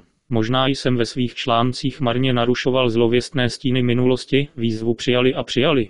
A co jsem našel v úvodníku? Naprostý klid. Místní veřejnost reagovala na novou etapu předvolební kampaně lhostejně. Diskutovali o bohémských novinkách, zejména o vystoupení na scéně nové hudební skupiny Bílí bratři místní produkce. Jejich klipy, jak se ukázalo, se v posledních dnech hrály v televizi do nekonečna. Znalci zamyšleně hovořili o neopostmoderně. Pro zajímavost jsem se rozhodl zjistit, o co jde, a zašel jsem ke dvěma excentrům, kteří vedli rubriku Muzikál Ahoj a oni sami byli s pozdravem. Jeden chodil s dlouhými vlasy po ramena a druhý si plešatě oholil hlavu. Ve skutečnosti byli přátelé nerozluční voda, ale tentokrát byli připraveni se navzájem chytit do tváře. Spor se ku podivu opět týkal bílých bratří. Ten oholený pořád říkal, že je to v pohodě a ten chlupatý pištěl, že je to kravina. K oboustranné spokojenosti jsem se ujal role arbitra a dostal jsem možnost zhlédnout všechny klipy. Nebudu se chlubit, že dar jediho na mě nějak přešel, ale velmi brzy jsem se začal cítit špatně. Hypnoticky působila rytmická hudba a série rychlých záběrů. Divák jako by byl vtažen do jakési vesmírné víry, inspirující pocity hrůzy a slasti zároveň. Pozoruhodný byl i výběr záběrů. Nejnovější počítačové speciální efekty a černobílá kronika druhé světové války, snímky přírodních katastrof a tajemné měsíční krajiny. Nelíbilo se mi, jak často na obrazovce blikala svastika, ovšem v řadě dalších mystických znamení. Od egyptského kříže po sovětské hvězdy. Ano, řekl jsem nakonec. To nejsou keci. To je mnohem horší a doporučuje se uspořádat přeskoumání snímek po snímku. Intuice nesklamala. Klipy byly plné nevěditelných snímků, těch, které působí na podvědomí. Jazyk, ve kterém bílí bratři vysílali, nám nebyl zcela jasný, vyžadovalo to radu specialisty, ale na přání mohli být obviněni z prosazování pochybných myšlenek. Zajímavé je, že známý plakát s Harrishem se dostal i do obecného kaleidoskopu. Bylo samozřejmě možné se okamžitě odhalit, ale pak jsem měl pochybnosti. Kdo je tady a na čí náklady řeší jeho problémy? Odpovědi dal život sám. Ve stejný den uspořádal Harris další shromáždění, lidé už na ně chodili, jako by šli do práce a místo obvyklého nekorupci, uklidíme si ulice a pryč s ruskou mafií byla seslána kouzla o světlejší budoucnosti a novém Asgardu, stejně jako o ničivém vlivu země a zvláštní cestě selenitů. Zdálo se, že lidem to nevadí. Jeden z mých informátorů v hnutí Harris však později oznámil, že nový vývoj způsobil vážné rozpory na vrcholu. Věc málem dospěla k rozkolu, ale zázračně se vše nějak urovnalo. Brzy jsem zjistil, odkud vítr vane. Navíc se ukázalo, že lidé, kteří se na tom podíleli, jsou staří známí. Ano, šílenci se podíleli na politickém dění. Neskrývali to. Mluvil jsem s hlavním bláznem jménem Menge, kterého si pamatuji z konference Trommel a na všechny mé otázky odpovídal s příjemným úsměvem. Ano, umělec, který nakreslil plakát, patří do jeho organizace. Mají také skladatele, básníky a sochaře, v minulosti nejobyčejnější lidi, jejichž talent byl objeven ve službách nejvyššího. Ne, nepracují za mzdu, ale na příkaz. Ano, podporujeme Harrishe a jeho hnutí, protože jejich vítězství bude krokem k novému Asgardu. Ne, to není politický, ale mystický koncept. Přečtěte si naši literaturu, vše je tam napsáno. Ano, také podporujeme Bílé bratry. Skvělí kluci, talentovaní. Mimochodem, všichni se narodili tady na měsíci. Nová generace, myslete na to. A na samém konci našeho rozhovoru, když jsem odložil záznamník a chystal se odejít, najednou se na mě podíval. Nikdy nezapomenu na ten pohled, pokud Armagedon neutichne. Ukázal mi, že ví všechno o mých tricích, ale nechce si špinit ruce. Připadal jsem si jako bezvýznamný hmyz, otravný, ale neškodný, který se dá každou chvíli zničit jednou bavlnkou. Byl to hrozný pocit. Zamumlal jsem něco na rozloučenou a vyšel jsem na ulici jako v mlze, nepamatuji si, jaký jsem se dostal do domu, ale přišel jsem k rozumu až po třetím šálku kávy. Teď už jsem pochyboval, jestli se to všechno vůbec stalo, i když jsem potkal Kurta Mengeho. Hlasový záznamník byl vymazán. 29. Číslo 13. Na králův rozkaz mi ušili podestýlku z kůží a položili ji vedle trůnu, čímž přinutili zbytek dvořanů uvolnit místo. Tady jsem měl sloužit. Zpočátku jsem samozřejmě nevěděl, před kým budu muset tyto mužičky chránit. Ochrana zákona a pořádku každopádně nepatřila k mým povinnostem. Většina konfliktů se řešila ve sporech a bojích a tato podívaná přinášela králi jen potěšení. Nikdo nezasahoval do jeho pravomoci. Místní hierarchie byla přísně dodržována. Ale pak mě jednou v noci probudilo pronikavé pištění skřítka. Vyskočil jsem, nemyslel jsem na nic a v matném světle pochodní jsem uviděl něco velkého, bílého a pohybujícího se uprostřed haly. Bylo to stvoření, které vypadalo jako had, ale s chapadly na čenichu jako polip. Had pomalu spolkl trpaslíka, kterého se zmocnil, bez ohledu na to, jak se třepotal. Bez váhání jsem vytasil meč a vrhl se na hada. Okamžitě vyplivla svou kořist a vznesla se na ocase téměř do mé výšky, syčela a stříkala hlen. Hořící kapky mě zasáhly přímo do obličeje, bál jsem se, že oslepnu, zavřel jsem oči a náhodně máchl mečem. Skutek byl vykonán. Když jsem otevřel oči, uviděl jsem tlusté bílé tělo, které se mi svíjelo u nohou v posledních křečích a jeho chapadla na hlavě se mi lepila na boty. Znechuceně jsem ji rozdrtil. Všude kolem sílil hluk hlasů. Ospalí trpaslíci vstali z postelí, odstrčili sousedy a řekli si, co se stalo. Kolem mě se vytvořil kruh přihlížejících, někteří s potěšením kopali do mrtvého těla hada, jiní se snažili malými ručičkami dotknout mého oblečení a meče. Nastala tlačenice, kterou zastavilo až hlasité zvolání krále. Kývl na mě prstem ze svého bydýlka, přiblížil jsem se a snažil se na nikoho nešlápnout. Král ke mně natáhl ruku s dobrotivým výrazem. Podržel jsem svou odpověď. Ale ukázalo se, že to byl chybný krok. Král si znovu povzdechl nad mou tupostí, zavolal jednoho z dvořanů a natáhl k němu ruku. On, bafající z prokázané pocty, dotkl se ty královské ruky, ale přijal v zubech. Nezasloužil si to. Za můj výkon mi král prokázal velkou laskavost. Musel jsem téhle netvorovi políbit ruku. Ceremoniál provázelo radostné pištění poddaných. 30. James Harris. Velká hra pokračovala. Dávní bohové měsíce na mě vsadili, no, pánové, buďte si jisti, že vás nesklamu. Vím, že moje práce je těsná, jen mě nech se otočit. Tady dole budete mít pořádnou parádu, budete si trhat bříška. Byl jsem jako ukamenovaný. Síla, která ve mně dřímala a jen občas vystrčila růžky, mě teď přemohla a dávala mi pocit síly a moci jako ve snu. Je tedy čas, aby se sny staly skutečností. Magdala se na mě usmála, musela to cítit stejně. Na obrazovce se objevil spořič obrazovky. Rychle rostoucí srpek měsíce v prstenci zelených blesků. Skvělí, tyto obrýlí lidé, kteří jsou blázni do virtuální reality. Dobré odpoledne. S vámi opět Secrets of Hemon. Dnes máme jako hosta neobvyklého hosta, jedná se o známého politika, poslance městského zastupitelstva. Muže, jehož jméno se stalo symbolem nekompromisního boje za naši bezpečnost a blahobyt. To je James Harris. Ahoj všichni. Vím, že někteří z nich se teď šklebí, jako by se jim svíral žaludek, zase ten chlap s jeho propagandou. Televizi samozřejmě můžete vypnout, bratři a sestry, jen tak neuslyšíte něco moc důležitého. Pak půjdeš a znovu se zeptáš svých přátel, kdo to potřebuje? Dnes nebudu mluvit o volbách. No, bokem. Ti, kteří mají oči otevřené, vidí, koho by měli volit, zatímco jiným může být souzeno bloudit ve tmě celý život. Modleme se za ně ve svém volném čase. Dnes vás nebudu vzrušovat. Dnes vám prozradím tajemství. Skutečné tajemství měsíce. Bratři a sestry, byli jste podvedeni? Celý život jsi byl podváděn. Celý život vám říkali, že měsíc je chladný svět bez života, kde není nic zajímavého. Je to lež? A ti, kteří mluvili pravdu, to měli těžké. Toto spiknutí trvá už stovky let, ale my to ukončíme. Věříte v selenity, přátelé? Možná ano, možná ne. Nechceš, aby se ti smáli. Nechceš být umístěn v psychiatrické léčebně. Někdy se bojíš přiznat i sám sobě. Dost.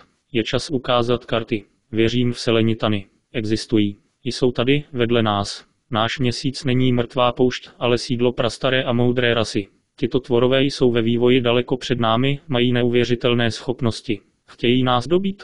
Ne, nepotřebují to. Nejsou to divoši jako my. Uvažujme lépe, komu prospívá naše zastrašování krvežíznivými mimozemšťany. Samozřejmě ti, kteří nechtějí kontakt. Pro ty, kteří nám chtějí ukrást budoucnost. Jsme připraveni sdílet vše, zkušenosti, znalosti i příležitosti. To, o čem jste snili, přátelé, se splní. Už nebudou války, nemoci, stáří. Žijte věčně bratři a sestry. Uvidíte svá pravnoučata i vzdálené potomky. Hvězdy budou na dosah, mléčná dráha vám bude poslušně ležet pod nohama. Chtěli byste se projít?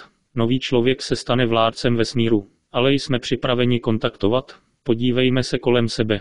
Nejprve musíte udělat pořádek ve svém domě.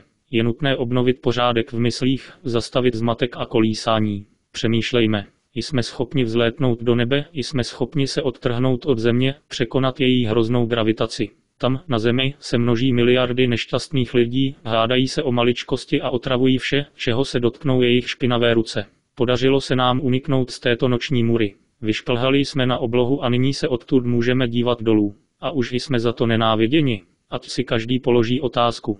Jak jsem se sem dostal? Co to bylo, nehoda? Nevěřím na náhody. Tohle je osud. To je vůle nebes. Dostali jsme šanci, tak si ji nenecháme ujít. Jsme lidé velkého osudu. Potřebujeme oblohu. Potřebujeme hvězdy. Potřebujeme věčnost. A my to dostaneme. Vybojujeme si své místo pod sluncem. Vybudujeme nový krásný svět. Svět snů, svět pohádek a fantastických snů. Vidím ho. A těm, kteří nevědí, říkám. Podívejte se. Hvězda nové éry stoupá. Kdo potřebuje důkaz, ten ho brzy dostane. 31. Profesor Zollins. Abych byl upřímný, nikdy předtím jsem se o místní politiku nezajímal a jméno James Harris pro mě bylo prázdnou frází. Voleb jsem se nezúčastnil, tuto akci považuji za nesmyslnou ztrátu času a peněz. Myší povyk a nic víc. Dovolte mi připomenout historii problému. Zpočátku byla kolonie vytvořena pro normální podporu života výzkumných stanic. Tehdy jsem ve velkém přišla spousta pochybných osobností a jen náhodných lidí, kteří si zde založili svůj biznis a začali si rozdělovat sféry vlivu. Motivy byly pravděpodobně velmi odlišné, ale všechny měly stejný kořen, lenost a průměrnost, neschopnost nebo neochota zlepšit svůj život tam, na zemi. Jak mohli tyto lidé pochopit plnou hodnotu a význam probíhajícího vědeckého výzkumu zde? Běda. Po zhroucení poslední supervelmoci se svět topí v malicherných hádkách a nikdo nemyslí na budoucnost. Fundamentální vědě se věnuje stále méně pozornosti, její místo zaujímají kulty a pověry. A naše generace je už příliš stará, aby tomuto šílenství odolala. Ta významná noc se nelišila od těch předchozích. Ne, nečekal jsem, až se objeví hvězda, když jsem přiložil oko k okuláru dalekohledu. Moderní astronomie spoléhá především na výpočetní techniku. Všechny informace se shromažďují a zpracovávají automaticky a poté se zobrazují na monitorech. I povinnost je pouhá formalita. Skutečnou prací je interpretovat získaná data. Ve čtyři ráno místního času tedy fungoval program registrace supernov a zařízení se přepnulo do speciálního režimu. Tady jsme museli opravdu makat. Jako vždy v takových situacích vyšla najevo řada nedostatků a prostě vyloženě hackerská práce. Obecně jsme byli schopni změřit spektra elektromagnetických, gravitačních a neutrinových vln vznikajících při kolapsu. Obávám se, že podrobnější informace budou pro lajky nesrozumitelné. Tu noci jsem skoro nemusel spát a ráno laborantka řekla, že se mnou chce nějaký novinář mluvit o supernově. Rád jsem znovu upozornil veřejnost na vědecké problémy. Věřím, že i zarytému lajkovi se občas hodí obrátit pohled k nebi. Navíc musíme myslet na mládež, která nás přijde nahradit. Z novináře se vyklubal slušně oblečený, ale poněkud drzý mladík. Snažil jsem se mu vysvětlit moderní názory na strukturu a vývoj hvězd, ale ukázalo se, že mluvíme různými jazyky. Jeho otázky mě překvapily. Zeptal se, jak hodnotím skutečnost, že se Harrisova předpověď naplnila a jaký dopad může mít epidemie na výsledek nadcházejících voleb. Samozřejmě jsem odpověděl, že o žádných předpovědích nic nevím a že by se astronomie neměla zaměňovat s astrologií. Výbuch supernovy stovky parseků ze sluneční soustavy nás ničím neohrožuje. Novinář se zase podivil i nad mou neznalostí místních intrik. Když zjistil, že nemám ve zvyku koukat na televizi a čtu jen odbornou literaturu, začal mi blahosklonně vysvětlovat situaci a čím víc mi toho vyprávěl, tím to vypadalo šíleněji. Spěchal jsem se rozejít s únavou. Ale ukázalo se, že měl pravdu. Ten den celé město mluvilo o Harrisově hvězdě. Hvězda nové éry vstala, vytrubovala média. Veřejné observatoře, které dříve navštěvovali pouze turisté, se plnili lidmi toužícími vidět zázrak. Další občané se houfně toulali po měsíci, hlavy vstyčené k nebi a pronášeli modlitby. O pár dní později začala záře slábnout, ale výsledek voleb už byl předem daný. 32. Číslo 13. Dej tu zatracenou lampu pryč, prosím. Pouze tato lampa je vaše. Vše, co zde vidíte, je čerpáno z vašich osobních představ. Já vím, nejsem nováček ve vaší oblasti. Pak vám váš pobyt ve světě gnomů možná dal nějaké myšlenky a my můžeme pokračovat v rozhovoru konstruktivnějším způsobem. Možná. Neházejte perly před prasata, to jste chtěl říct?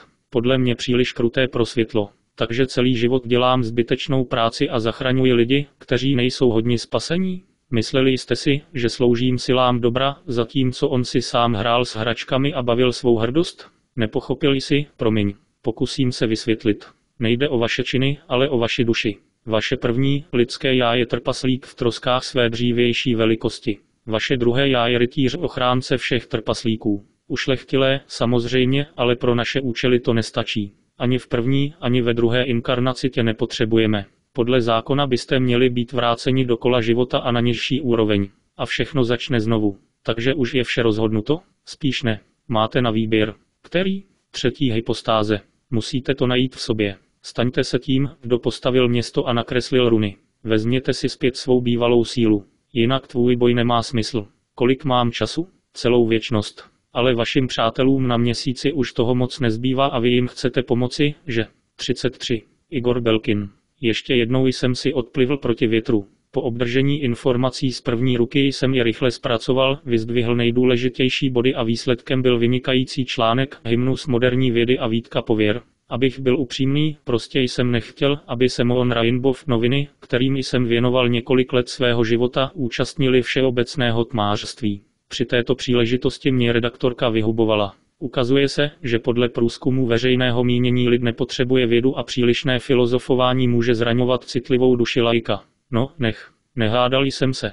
Mechanicky se vrátil na své pracoviště a zíral do temné prázdnoty monitoru, jakoby oknem do budoucnosti. Myšlenky byly jiné. První a nejsnáze proveditelný je vše zahodit a vrátit se na zemi. Tam samozřejmě také není žádný cukr, ale přesto. Ale tady budeme stejně rozptýleni do pekla nebo nuceni psát nějaké nesmysly. Už je spousta lidí, kteří to chtějí dělat. Škoda, že tomu redaktor nerozumí. Bolestně jednoduché, jedním slovem, americký. Celá země si nevšimla, jak se rozpadla. Prošli jsme tím před stolety. S balením věcí jsem však nijak nespěchal, místo toho jsem si vzal kartotéku. Šlo o dopisy čtenářů, kterým moje články nebyly lhostejné. Dopisy byly samozřejmě různé, některé pro zdraví, jiné pro mír. Soudě podle posledního jsem už dlouho na černé listině těch, kteří to budou mít s novou vládou těžké. A ty, co mě podpořili, by se mohli hodit. Nedopisy, samozřejmě, ale lidé. Neobsazují žádné posty, nejsou zařazeni do žádných stran, nejednotní, nejasně cítí blížící se potíže a hledají někoho, s kým by se mohli podělit. Mladí i staří, dělníci a zaměstnanci, podnikatelé i intelektuálové. Vyrazilo mi to dech. Uvědomil jsem si, co se dá dělat. A zároveň to znamenalo překročit nevěditelný Rubikon, z vězně dějin se stát jejich tvůrcem. Ale není to to, o čem jsem celý život snil? 34. Sheriff Kennedy. Neřekl jsem. Žádné nelegální ozbrojené formace. Jinak budete jednat s policií. Ani nepřemýšlej. Stál jsem čelem k oknu, abych se Belkinovi nepodíval do očí. Stydím se to říct, ale dostal jsem se do bodu, kdy jsem v každém, koho jsem potkal, viděl tajného agenta a vždy očekával nějakou provokaci. Když psychopaty vedou shov a vy sami se pomalu s pozdravem. Ale proč? Nebuďte byrokrat zněl novinář otráveně. Pokud jsou padouši dobře organizovaní, měli by se sjednotit i všichni dobří po odmlce dodal. To jsem neřekl já, ale Lev Tolstoj. Opravdu? A rozhodl jsem se, že jsi viděl dost militantů. Podívej, Harrisovi lidé jsou každým dnem odvážnější. Máte něco proti těmto ozbrojeným formacím? Jsou naprosto legální. Pojď. Dobře víte, jaký tlak byl na radu vyvíjen. Je to jen výsměch demokracii. Zákon je zákon. V tuto chvíli jsem musel vypadat jako hloupý, samolibý kretén. Ve skutečnosti si hodně lidí myslí, že jsem. Někdy to dokonce bylo užitečné, ale ne teď. Řeknu ti jen jednu věc. Dokud budu šerifem, budu dodržovat zákon i proti vám. Novinář se najednou usmál. Co když nejste šerif? Pak si promluvíme. Zameteno. Belkin na mě spiklenecky mrkl. Ven. Zavrčel jsem. Nesnesu známosti od cizích lidí. I když nějaké myšlenky do mě zasel. V případě vítězství opozice jsem se příliš nelichotil, ale věřil jsem, že svou povinnost splním až do konce. Teď jsem věděl, že tento konec může snadno přejít v začátek. Pravděpodobně se najde parta romantických idealistů, kteří nevědí, za který konec držet zářič. Člověk s mými zkušenostmi bude prostě potřeba. Možná měl Leo Tolstoj pravdu. 35. Michail Petrovič. Tak to nastalo, poslední den, kdy nelze nic změnit. Kdyby měl vyčerpávající závod vystřídat ponuré očekávání. Včera jste se znovu a znovu pokoušeli proniknout do myslí a srdcí jiných lidí a dnes máte svázané ruce. Zbývá splnit svou, možná poslední, občanskou povinnost. Pamatuji si, jak jsem se naposledy ptal, zda je etické volit sám sebe. Ale hluboko uvnitř musel lhát. Teď už tam ta otázka nebyla. Protože se nerozhodovalo o mém osobním osudu, ale o osudu celého tohoto malého světa, který se nám stal tak drahým. Ráno jsem měl noční mury, když jsem se vynořil z jejich temného víru, nechtěl jsem se vracet. Vstal jsem z postele, uklidil se, vypil dva šálky černé kávy na povzbuzení a šel do okresní volební místnosti. Na ulici bylo málo lidí. V neděli ráno většina raději spala. Jen málo kolem jdoucích mě poznalo, někteří se přívětivě usmívali a zdravili, jiní se spod obočí mračili a co si nestranně zamumlali. Cestou do volební místnosti mě zastihl filmový štáb, mladí fešáci, kteří připravovali reportáž o volbách. I přes jejich velký zájem se mi zdálo, že situaci neberou vážně. Politika pro ně byla součástí zábavního průmyslu. No, někdy se mi zdálo, že se všichni účastníme nekonečné absurdní hry pro pobavení neznámých diváků. Situace kolem místa byla napjatá. Něco zlého bylo ve vzduchu. Projel mnou mráz. Vesele si povídající reportéři zmlkli. Obraz před našima očima nevěstil nic dobrého. Nejprve to byli Stormtroopeři. V tento den se na příkaz Harrishe zabývali prosazováním zákona a pořádku ve všech volebních místnostech, aby chránili svobody občanů a vyhnuli se provokacím. Tito si zřejmě užívali úkol, který jim byl přidělen, hráli si s baseballovými pálkami a železnými řetězy, cucali pivo z plechovek a strašili slabé voliče.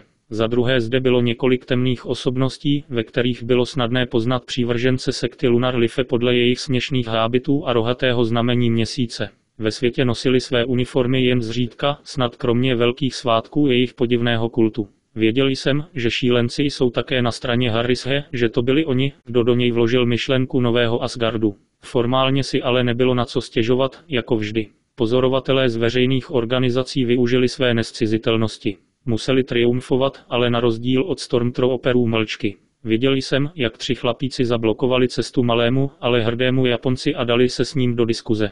Jak se později ukázalo, bylo mu řečeno, že opice s přivřenýma očima neměli volit. Japonci odpověděli citací Deklarace lidských práv v bezchybné angličtině. Co se tam děje? Zeptal jsem se autoritativním tónem a věřil jsem, že v čele družiny reportérů a příznivců, kteří uvízli na silnici, vypadám dostatečně působivě. Ostatně byl jsem ještě starostou. Ale zdálo se, že těmto posměšným tvářím to bylo jedno, jen aby se předvedli. Kdo je to? Ne, pane starosto. Jaký starosta? Nevidíš, je to ruský medvěd. Hej, medvěde, jdi do své Moskvy. Možná bychom ho neměli pouštět dovnitř. On se tam vysere. Tihle rusové se vyserou všude. Podívej, jaký hrnek teď vrč. Cesta. Štěkal jsem. Stormtroopeři se neochotně rozešli, aby nás nechali projít. Pořád tě budeme lovit. Šeptali po mně naštvaně. Vešel jsem dovnitř a šel rovnou k informačnímu stolu. Úředník komise měl něco v nepořádku s obličejem. Hnil mu přímo před očima. V černajícím se mase se rojily bělostní červy a obnažily se žluté kosti lepky. Sama smrt se na mě podívala. Nebál jsem se, kdo by dnes nevěděl, co je to indukovaná halucinace? Ale stalo se mi to nesnesitelně nechutné a bylo mi to líto. Proč bych měl vzdorovat silám temnoty? Zavřel jsem oči, abych nic neviděl, ale pořád jsem měl před očima tu příšernou vizi a vzduch voněl hnějícím masem a sírou. A pak najednou moje vědomí upadlo někam do jiného světa. Ocitl jsem se pod ponurými klenbami chrámu. Svíčky hořely. Neviditelný sbor zpíval Hosana. Stála vedle mě moje poslední láska, blond vlasy stažené pod černým šátkem a modré oči zářily jako předtím. Podívala se na mě s úsměvem, ale viděla dál. Tenké rty se pohybovaly a v mé duši zněl jemný hlas opakující slova modlitby. A síla toho, kterému sloužila, mě osvobodila. Muselo to trvat jen chvíli. Když jsem otevřel oči, zlý opar se již vypařil. Někdo mě držel za paži, soucitný hlas řekl. Co je to s tebou, Michaeli Petroviči? Cítíš se špatně? Nic, všechno je v pořádku. Zatočila se mi hlava. Můžeš přísahat? Přinést léky? Není potřeba, budu hlasovat. Když jsem udělal, co jsem musel, opustil jsem stanici a nevěnoval jsem pozornost tomu, co se děje kolem, vydal jsem se k domu. Ten den jsem nikam jinam nešel a s nikým jsem nemluvil, vypínal jsem telefon, možná marně. Čas od času si zapnul televizi, aby se podíval na zprávy o průběhu voleb. Tyto zprávy mě jen více deprimovaly. Někde kolem půlnoci byly známy výsledky hlasování. Kdo byl vybrán, víte sami. Ze smutku jsem se napil jako prase. Probudil jsem se na úplně jiném místě. 36. Šerif Kennedy. Při ranní cestě do práce jsem poblíž policejního ředitelství potkal Davragamu Finů, kteří křičeli moje jméno. Pryč s policajtama. Kennedy odstoupí. Křičeli. Nevím, z jakých strašidel je Harris shromáždil, ale tihle bastardi věděli, co se děje. Neměli však žádné pokyny, jak mě napadnout. Tak se to nedělá. Uvnitř mě potkal můj tým. Zdálo se, že vidět mě živého a nezraněného všem poskytlo znatelnou úlevu. Kluci byli hodně nervózní, ale dařilo se jim. Čekali na mé rozkazy a upřímně věřili, že je dostanu z jakýchkoliv potíží. Kéž bych něčemu takovému mohl věřit. Řekl jsem, abychom nepodléhali provokacím a posílili zabezpečení budovy, pak odešel do své kanceláře. Zazvonil telefon. Bylo mi řečeno, že se mnou bude mluvit starosta. Doufal jsem, že uslyším Michaelův hlas. Možná společně něco vymyslíme? Ale Harrisův jedovatý šepot se mu vlil do ucha. Jste stále tady, pane Kennedy? Právě jsem se rozhodl zkontrolovat. Zdá se, že neposloucháte hlas lidu. To je velmi špatné. Co jste potom za demokrata? Co bys rád? Rezignujte. Kennedy odstoupí. Připraveno k příjmu přímo do telefonu. Nepotřebujeme formality. Nečekej. V tom případě tě vyhodím. A celé vaše špinavé vedení. Odevzdejte odznaky. To nemůžeš. A kdo mi to zakáže? Zákon. Můžeš se utřít svým zákonem. Jsi mastodont, Kennedy, kus minulosti. Vysvětluji pro hlupáky. Již není zákon. Existuje pouze moje neotřesitelná vůle. Bohové jsou na mé straně. Jdi mi z cesty. Máš šanci, dokud budu hodný. Pane Harrisone, říkejte mi si Egfried. Uvědomil jsem si, že se úplně zbláznil a zavěsil. Pak nařídil, aby se s nikým nestýkal. Potřeboval jsem ticho, abych se trochu zamyslel. Nakonec jsem se rozhodl. Ve skutečnosti se to mělo udělat už dávno. Nahmatal jsem štítek elektronického klíče v kapse, vyndal jsem ho, obdivoval křiklavý červený štítek, znamení nebezpečí, vstal jsem od stolu a zabručel na asistenta. Jsem ve sklepě a šel přímo k drahým dveřím. Dlouho jsem tu nebyl. Za těmito dveřmi byl terminál pro speciální komunikaci se zemí. Několikrát jsem musel vytočit nouzový kód, dokud se na obrazovce neobjevil obličej, bohužel jsem ho nepoznal. Nějaký frajer v civilu. Slyším vás, šerife. Potřebuji naléhavě mluvit s generálem Svensonem. Budeš se mnou mluvit. Pokuta. Poslouchejte. Ve městě dominují extrémisté. Náš nový starosta je blázen. Myslíte Jamese Harrise? Takže víš, víme vše, co je potřeba. Pak je tu pro vás nejnovější informace. Právě mě vyhodil a rozpustil policejní oddělení. Všechno, co dělá, je nezákonné. Situace je havarijní. Potřebujeme pomoc. Dodržujte rozkazy. Co? Poslouchejte příkazy svého starosty. Nechat město šílencům? Ale co se stane s námi všemi? Vyšleme vyšetřovací komisi. Nepotřebujeme komisi, ale speciální jednotky. Zapomínáte na sebe, pane Kennedy. Vše nejlepší a děkuji za spolupráci. A do prdele. Opravdu jsem se strašně naštval. A neměl jsem co ztratit. Ale obrazovka zhasla a muž v civilu mě neslyšel. Pár minut jsem tupě seděl před terminálem. Takhle jsem už dlouho nebyl. A pak přišel poznatek. Co si budeme povídat, teď jsem volný. 37. Číslo 13. Rozhodl jsem se zjistit, odkud hadi pocházejí, tuto otázku si trpaslíci evidentně nekladli a zároveň proskoumat budovu. Taky jsem našel temné vlhké kopky a plesnivé schody vedoucí Bůh ví kam. Poté, co jsem zničil několik hadích hnízd a předal králi hromadu useknutých hlav, a se nakonec raduje, jsem vyrazil. Bloudil jsem v bludném labirintu kobek po nekonečných temných chodbách, sestupoval jsem hlouběji a hlouběji, v základu tohoto světa, k počátkům mé zničené duše.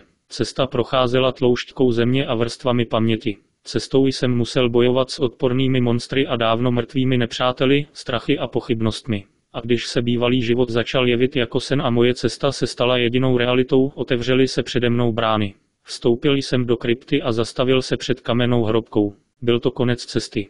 Můj meč se mi v ruce zamíchal, blesky šlehaly po čepeli, jak toužil po akci, a já jim máchl na náhrobní kámen. Rozbil se na tisíc kousků. A viděl jsem uvnitř ležet muže, spoutaného kouzlem tisíciletého spánku. A tou osobou jsem byl já. Je čas vstávat. Víčka se zachvěla, oči se otevřely, stěny mého vězení se zhroutily v řevu a záblesku blesků a byl slyšet zbor vzdálených hlasů zpívajících Hosana. A viděl jsem nové nebe a novou zemi. Toto je světlo Jeruzaléma. Je to počátek bytí, zdroj života. Ten, kterému lidé říkají Bůh. Malé jiskřičky nás koupali v paprscích jeho lásky a tak to mohlo pokračovat do nekonečna, chtěli jsme to a on nás odstrčil, jemně, ale vytrvale a přišlo poznání. Budeme ho muset opustit, abychom se mohli vrátit. Neboť jsme byli stvořeni jako válečníci pro velké bitvy v novém kole Armagedonu a jeho mocí musíme bojovat se silami temnoty a osvobodit lidi od její ďábelské moci v mnoha světech a časech. Vrátil jsem se na cestu, kterou jsem odbočil. Našla jsem se a vrátila se k sobě. Teď jsem věděl, co dělat dál. 38. Michail Petrovič. Postupně jsem se vzpamatovával. A hned jsem nepochopil, že sen už skončil a to, co vidím, byla realita. Ale bylo to přesně tak. Ležel jsem na jakési matraci v pokoji, zřejmě nedávno upraveném bydlení. Belkin seděl naproti mě a pomalu a promyšleně sestavoval kovový předmět z částí, které vypadaly jako zbraň. Zároveň si po dvou si předl cosi klasického. Zkus si se mnou zaspívat, vstaň vedle mě. Zdá se, choj. Když věděl, že jsem vzhůru, kývl na mě. Dobrý večer, Michaile Petroviči. Proč večer? Do hodiny. Jinak to teď nerozeznáte, náš skvělý vůdce zrušil denní dobu. Zde dochází k vyhoření elektřiny. Jmenuje se Velké odpoledne. Obecně už nebude čas, jak bylo řečeno. Nesmysl. Ano. Dr. Fletcher je stejného názoru. Posadil jsem se a snažil se srovnat si myšlenky. V hlavě bzučelo. Jak jsem se sem dostal? Evakuovali jsme vás. Pravda, museli jsme vylomit dveře. Ale velmi včas. Těsně před příletem útočného letounu. Byli velmi naštvaní. Je dokonce dobře, že jste to nevěděli. Byt bude nutné zrekonstruovat. Co tu děláš? Obhajuji demokracii. Je to skvělé, že? Splněný sen idiota. Jste novinář. Čtvrtá moc. Nyní je čas mluvit s lidmi, říct jim pravdu. Běda, Michaile Petroviči. Igor rozpřáhl ruce. Už nejsem novinář. A vy nejste starosta. A náš společný přítel Kennedy není šerif. Taková je změna osudu. Teď jsme všichni pod zemí. V doslovném i přeneseném smyslu. A co Nick?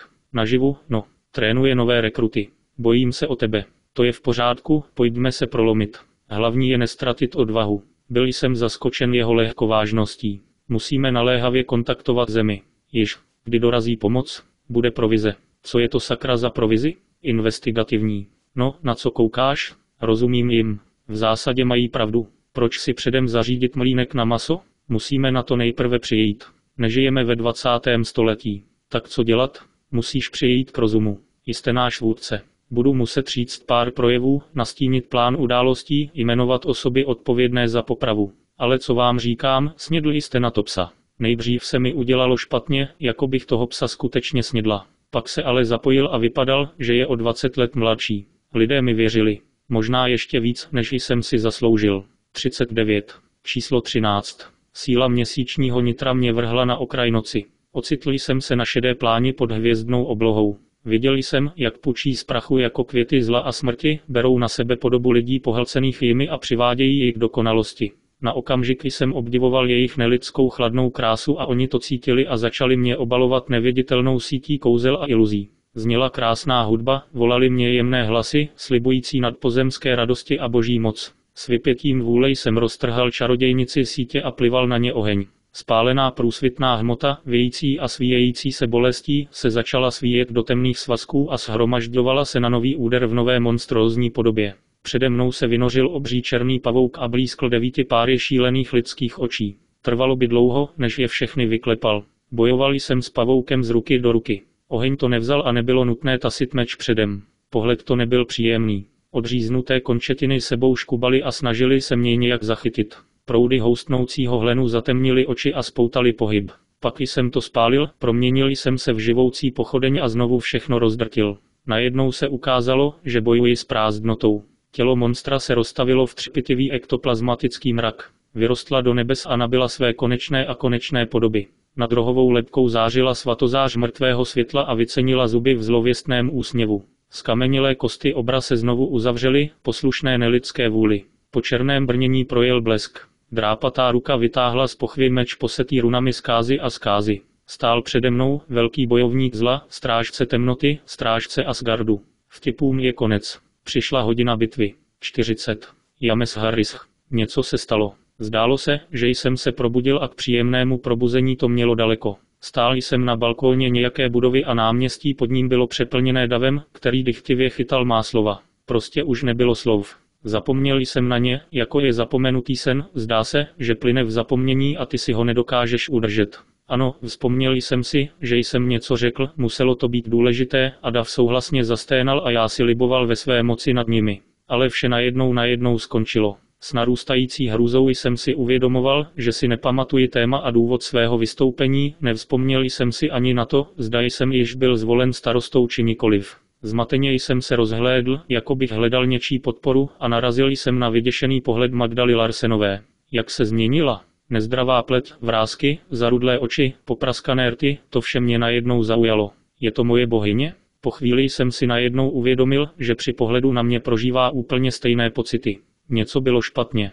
Nedaleko se ozvalo tlumené zasténání. Náměsíčníci, kteří s námi stáli na balkóně, byli nehybní jako sochy, asi proto jsem si jich zpočátku nevšiml. Ale byli tady, zmrzlí v hrozné křeči a jen oči jim hořely nevýslovnou bolestí a zuřivým hněvem. Pak jeden z nich padl a zmítal se v záchvatu, jako by bojoval s nevěditelným nepřítelem. Ostatní ho následovali. Jeden se najednou zvedl, hledal něco před sebou rukama jako slepý a vypadl přes zábradlí. Magdala se ke mně přitiskla, hystericky křičela a já, odtrhávajíc oči od toho strašlivého pohledu, jsem to otočil k davu dole a nějak odtažitě jsem si myslel, že tohle je konec mé politické kariéry. Ale i dole se dělo něco divného. Dav tiše padl. Viděl jsem lidi, jak pomalu klesají na chodník, padají jeden na druhého, dělají si pohodlí, soukají se nebo leží na zádech. Obraz byl přes všechnu svou šílenost nesmírně poklidný. Lidé usnuli.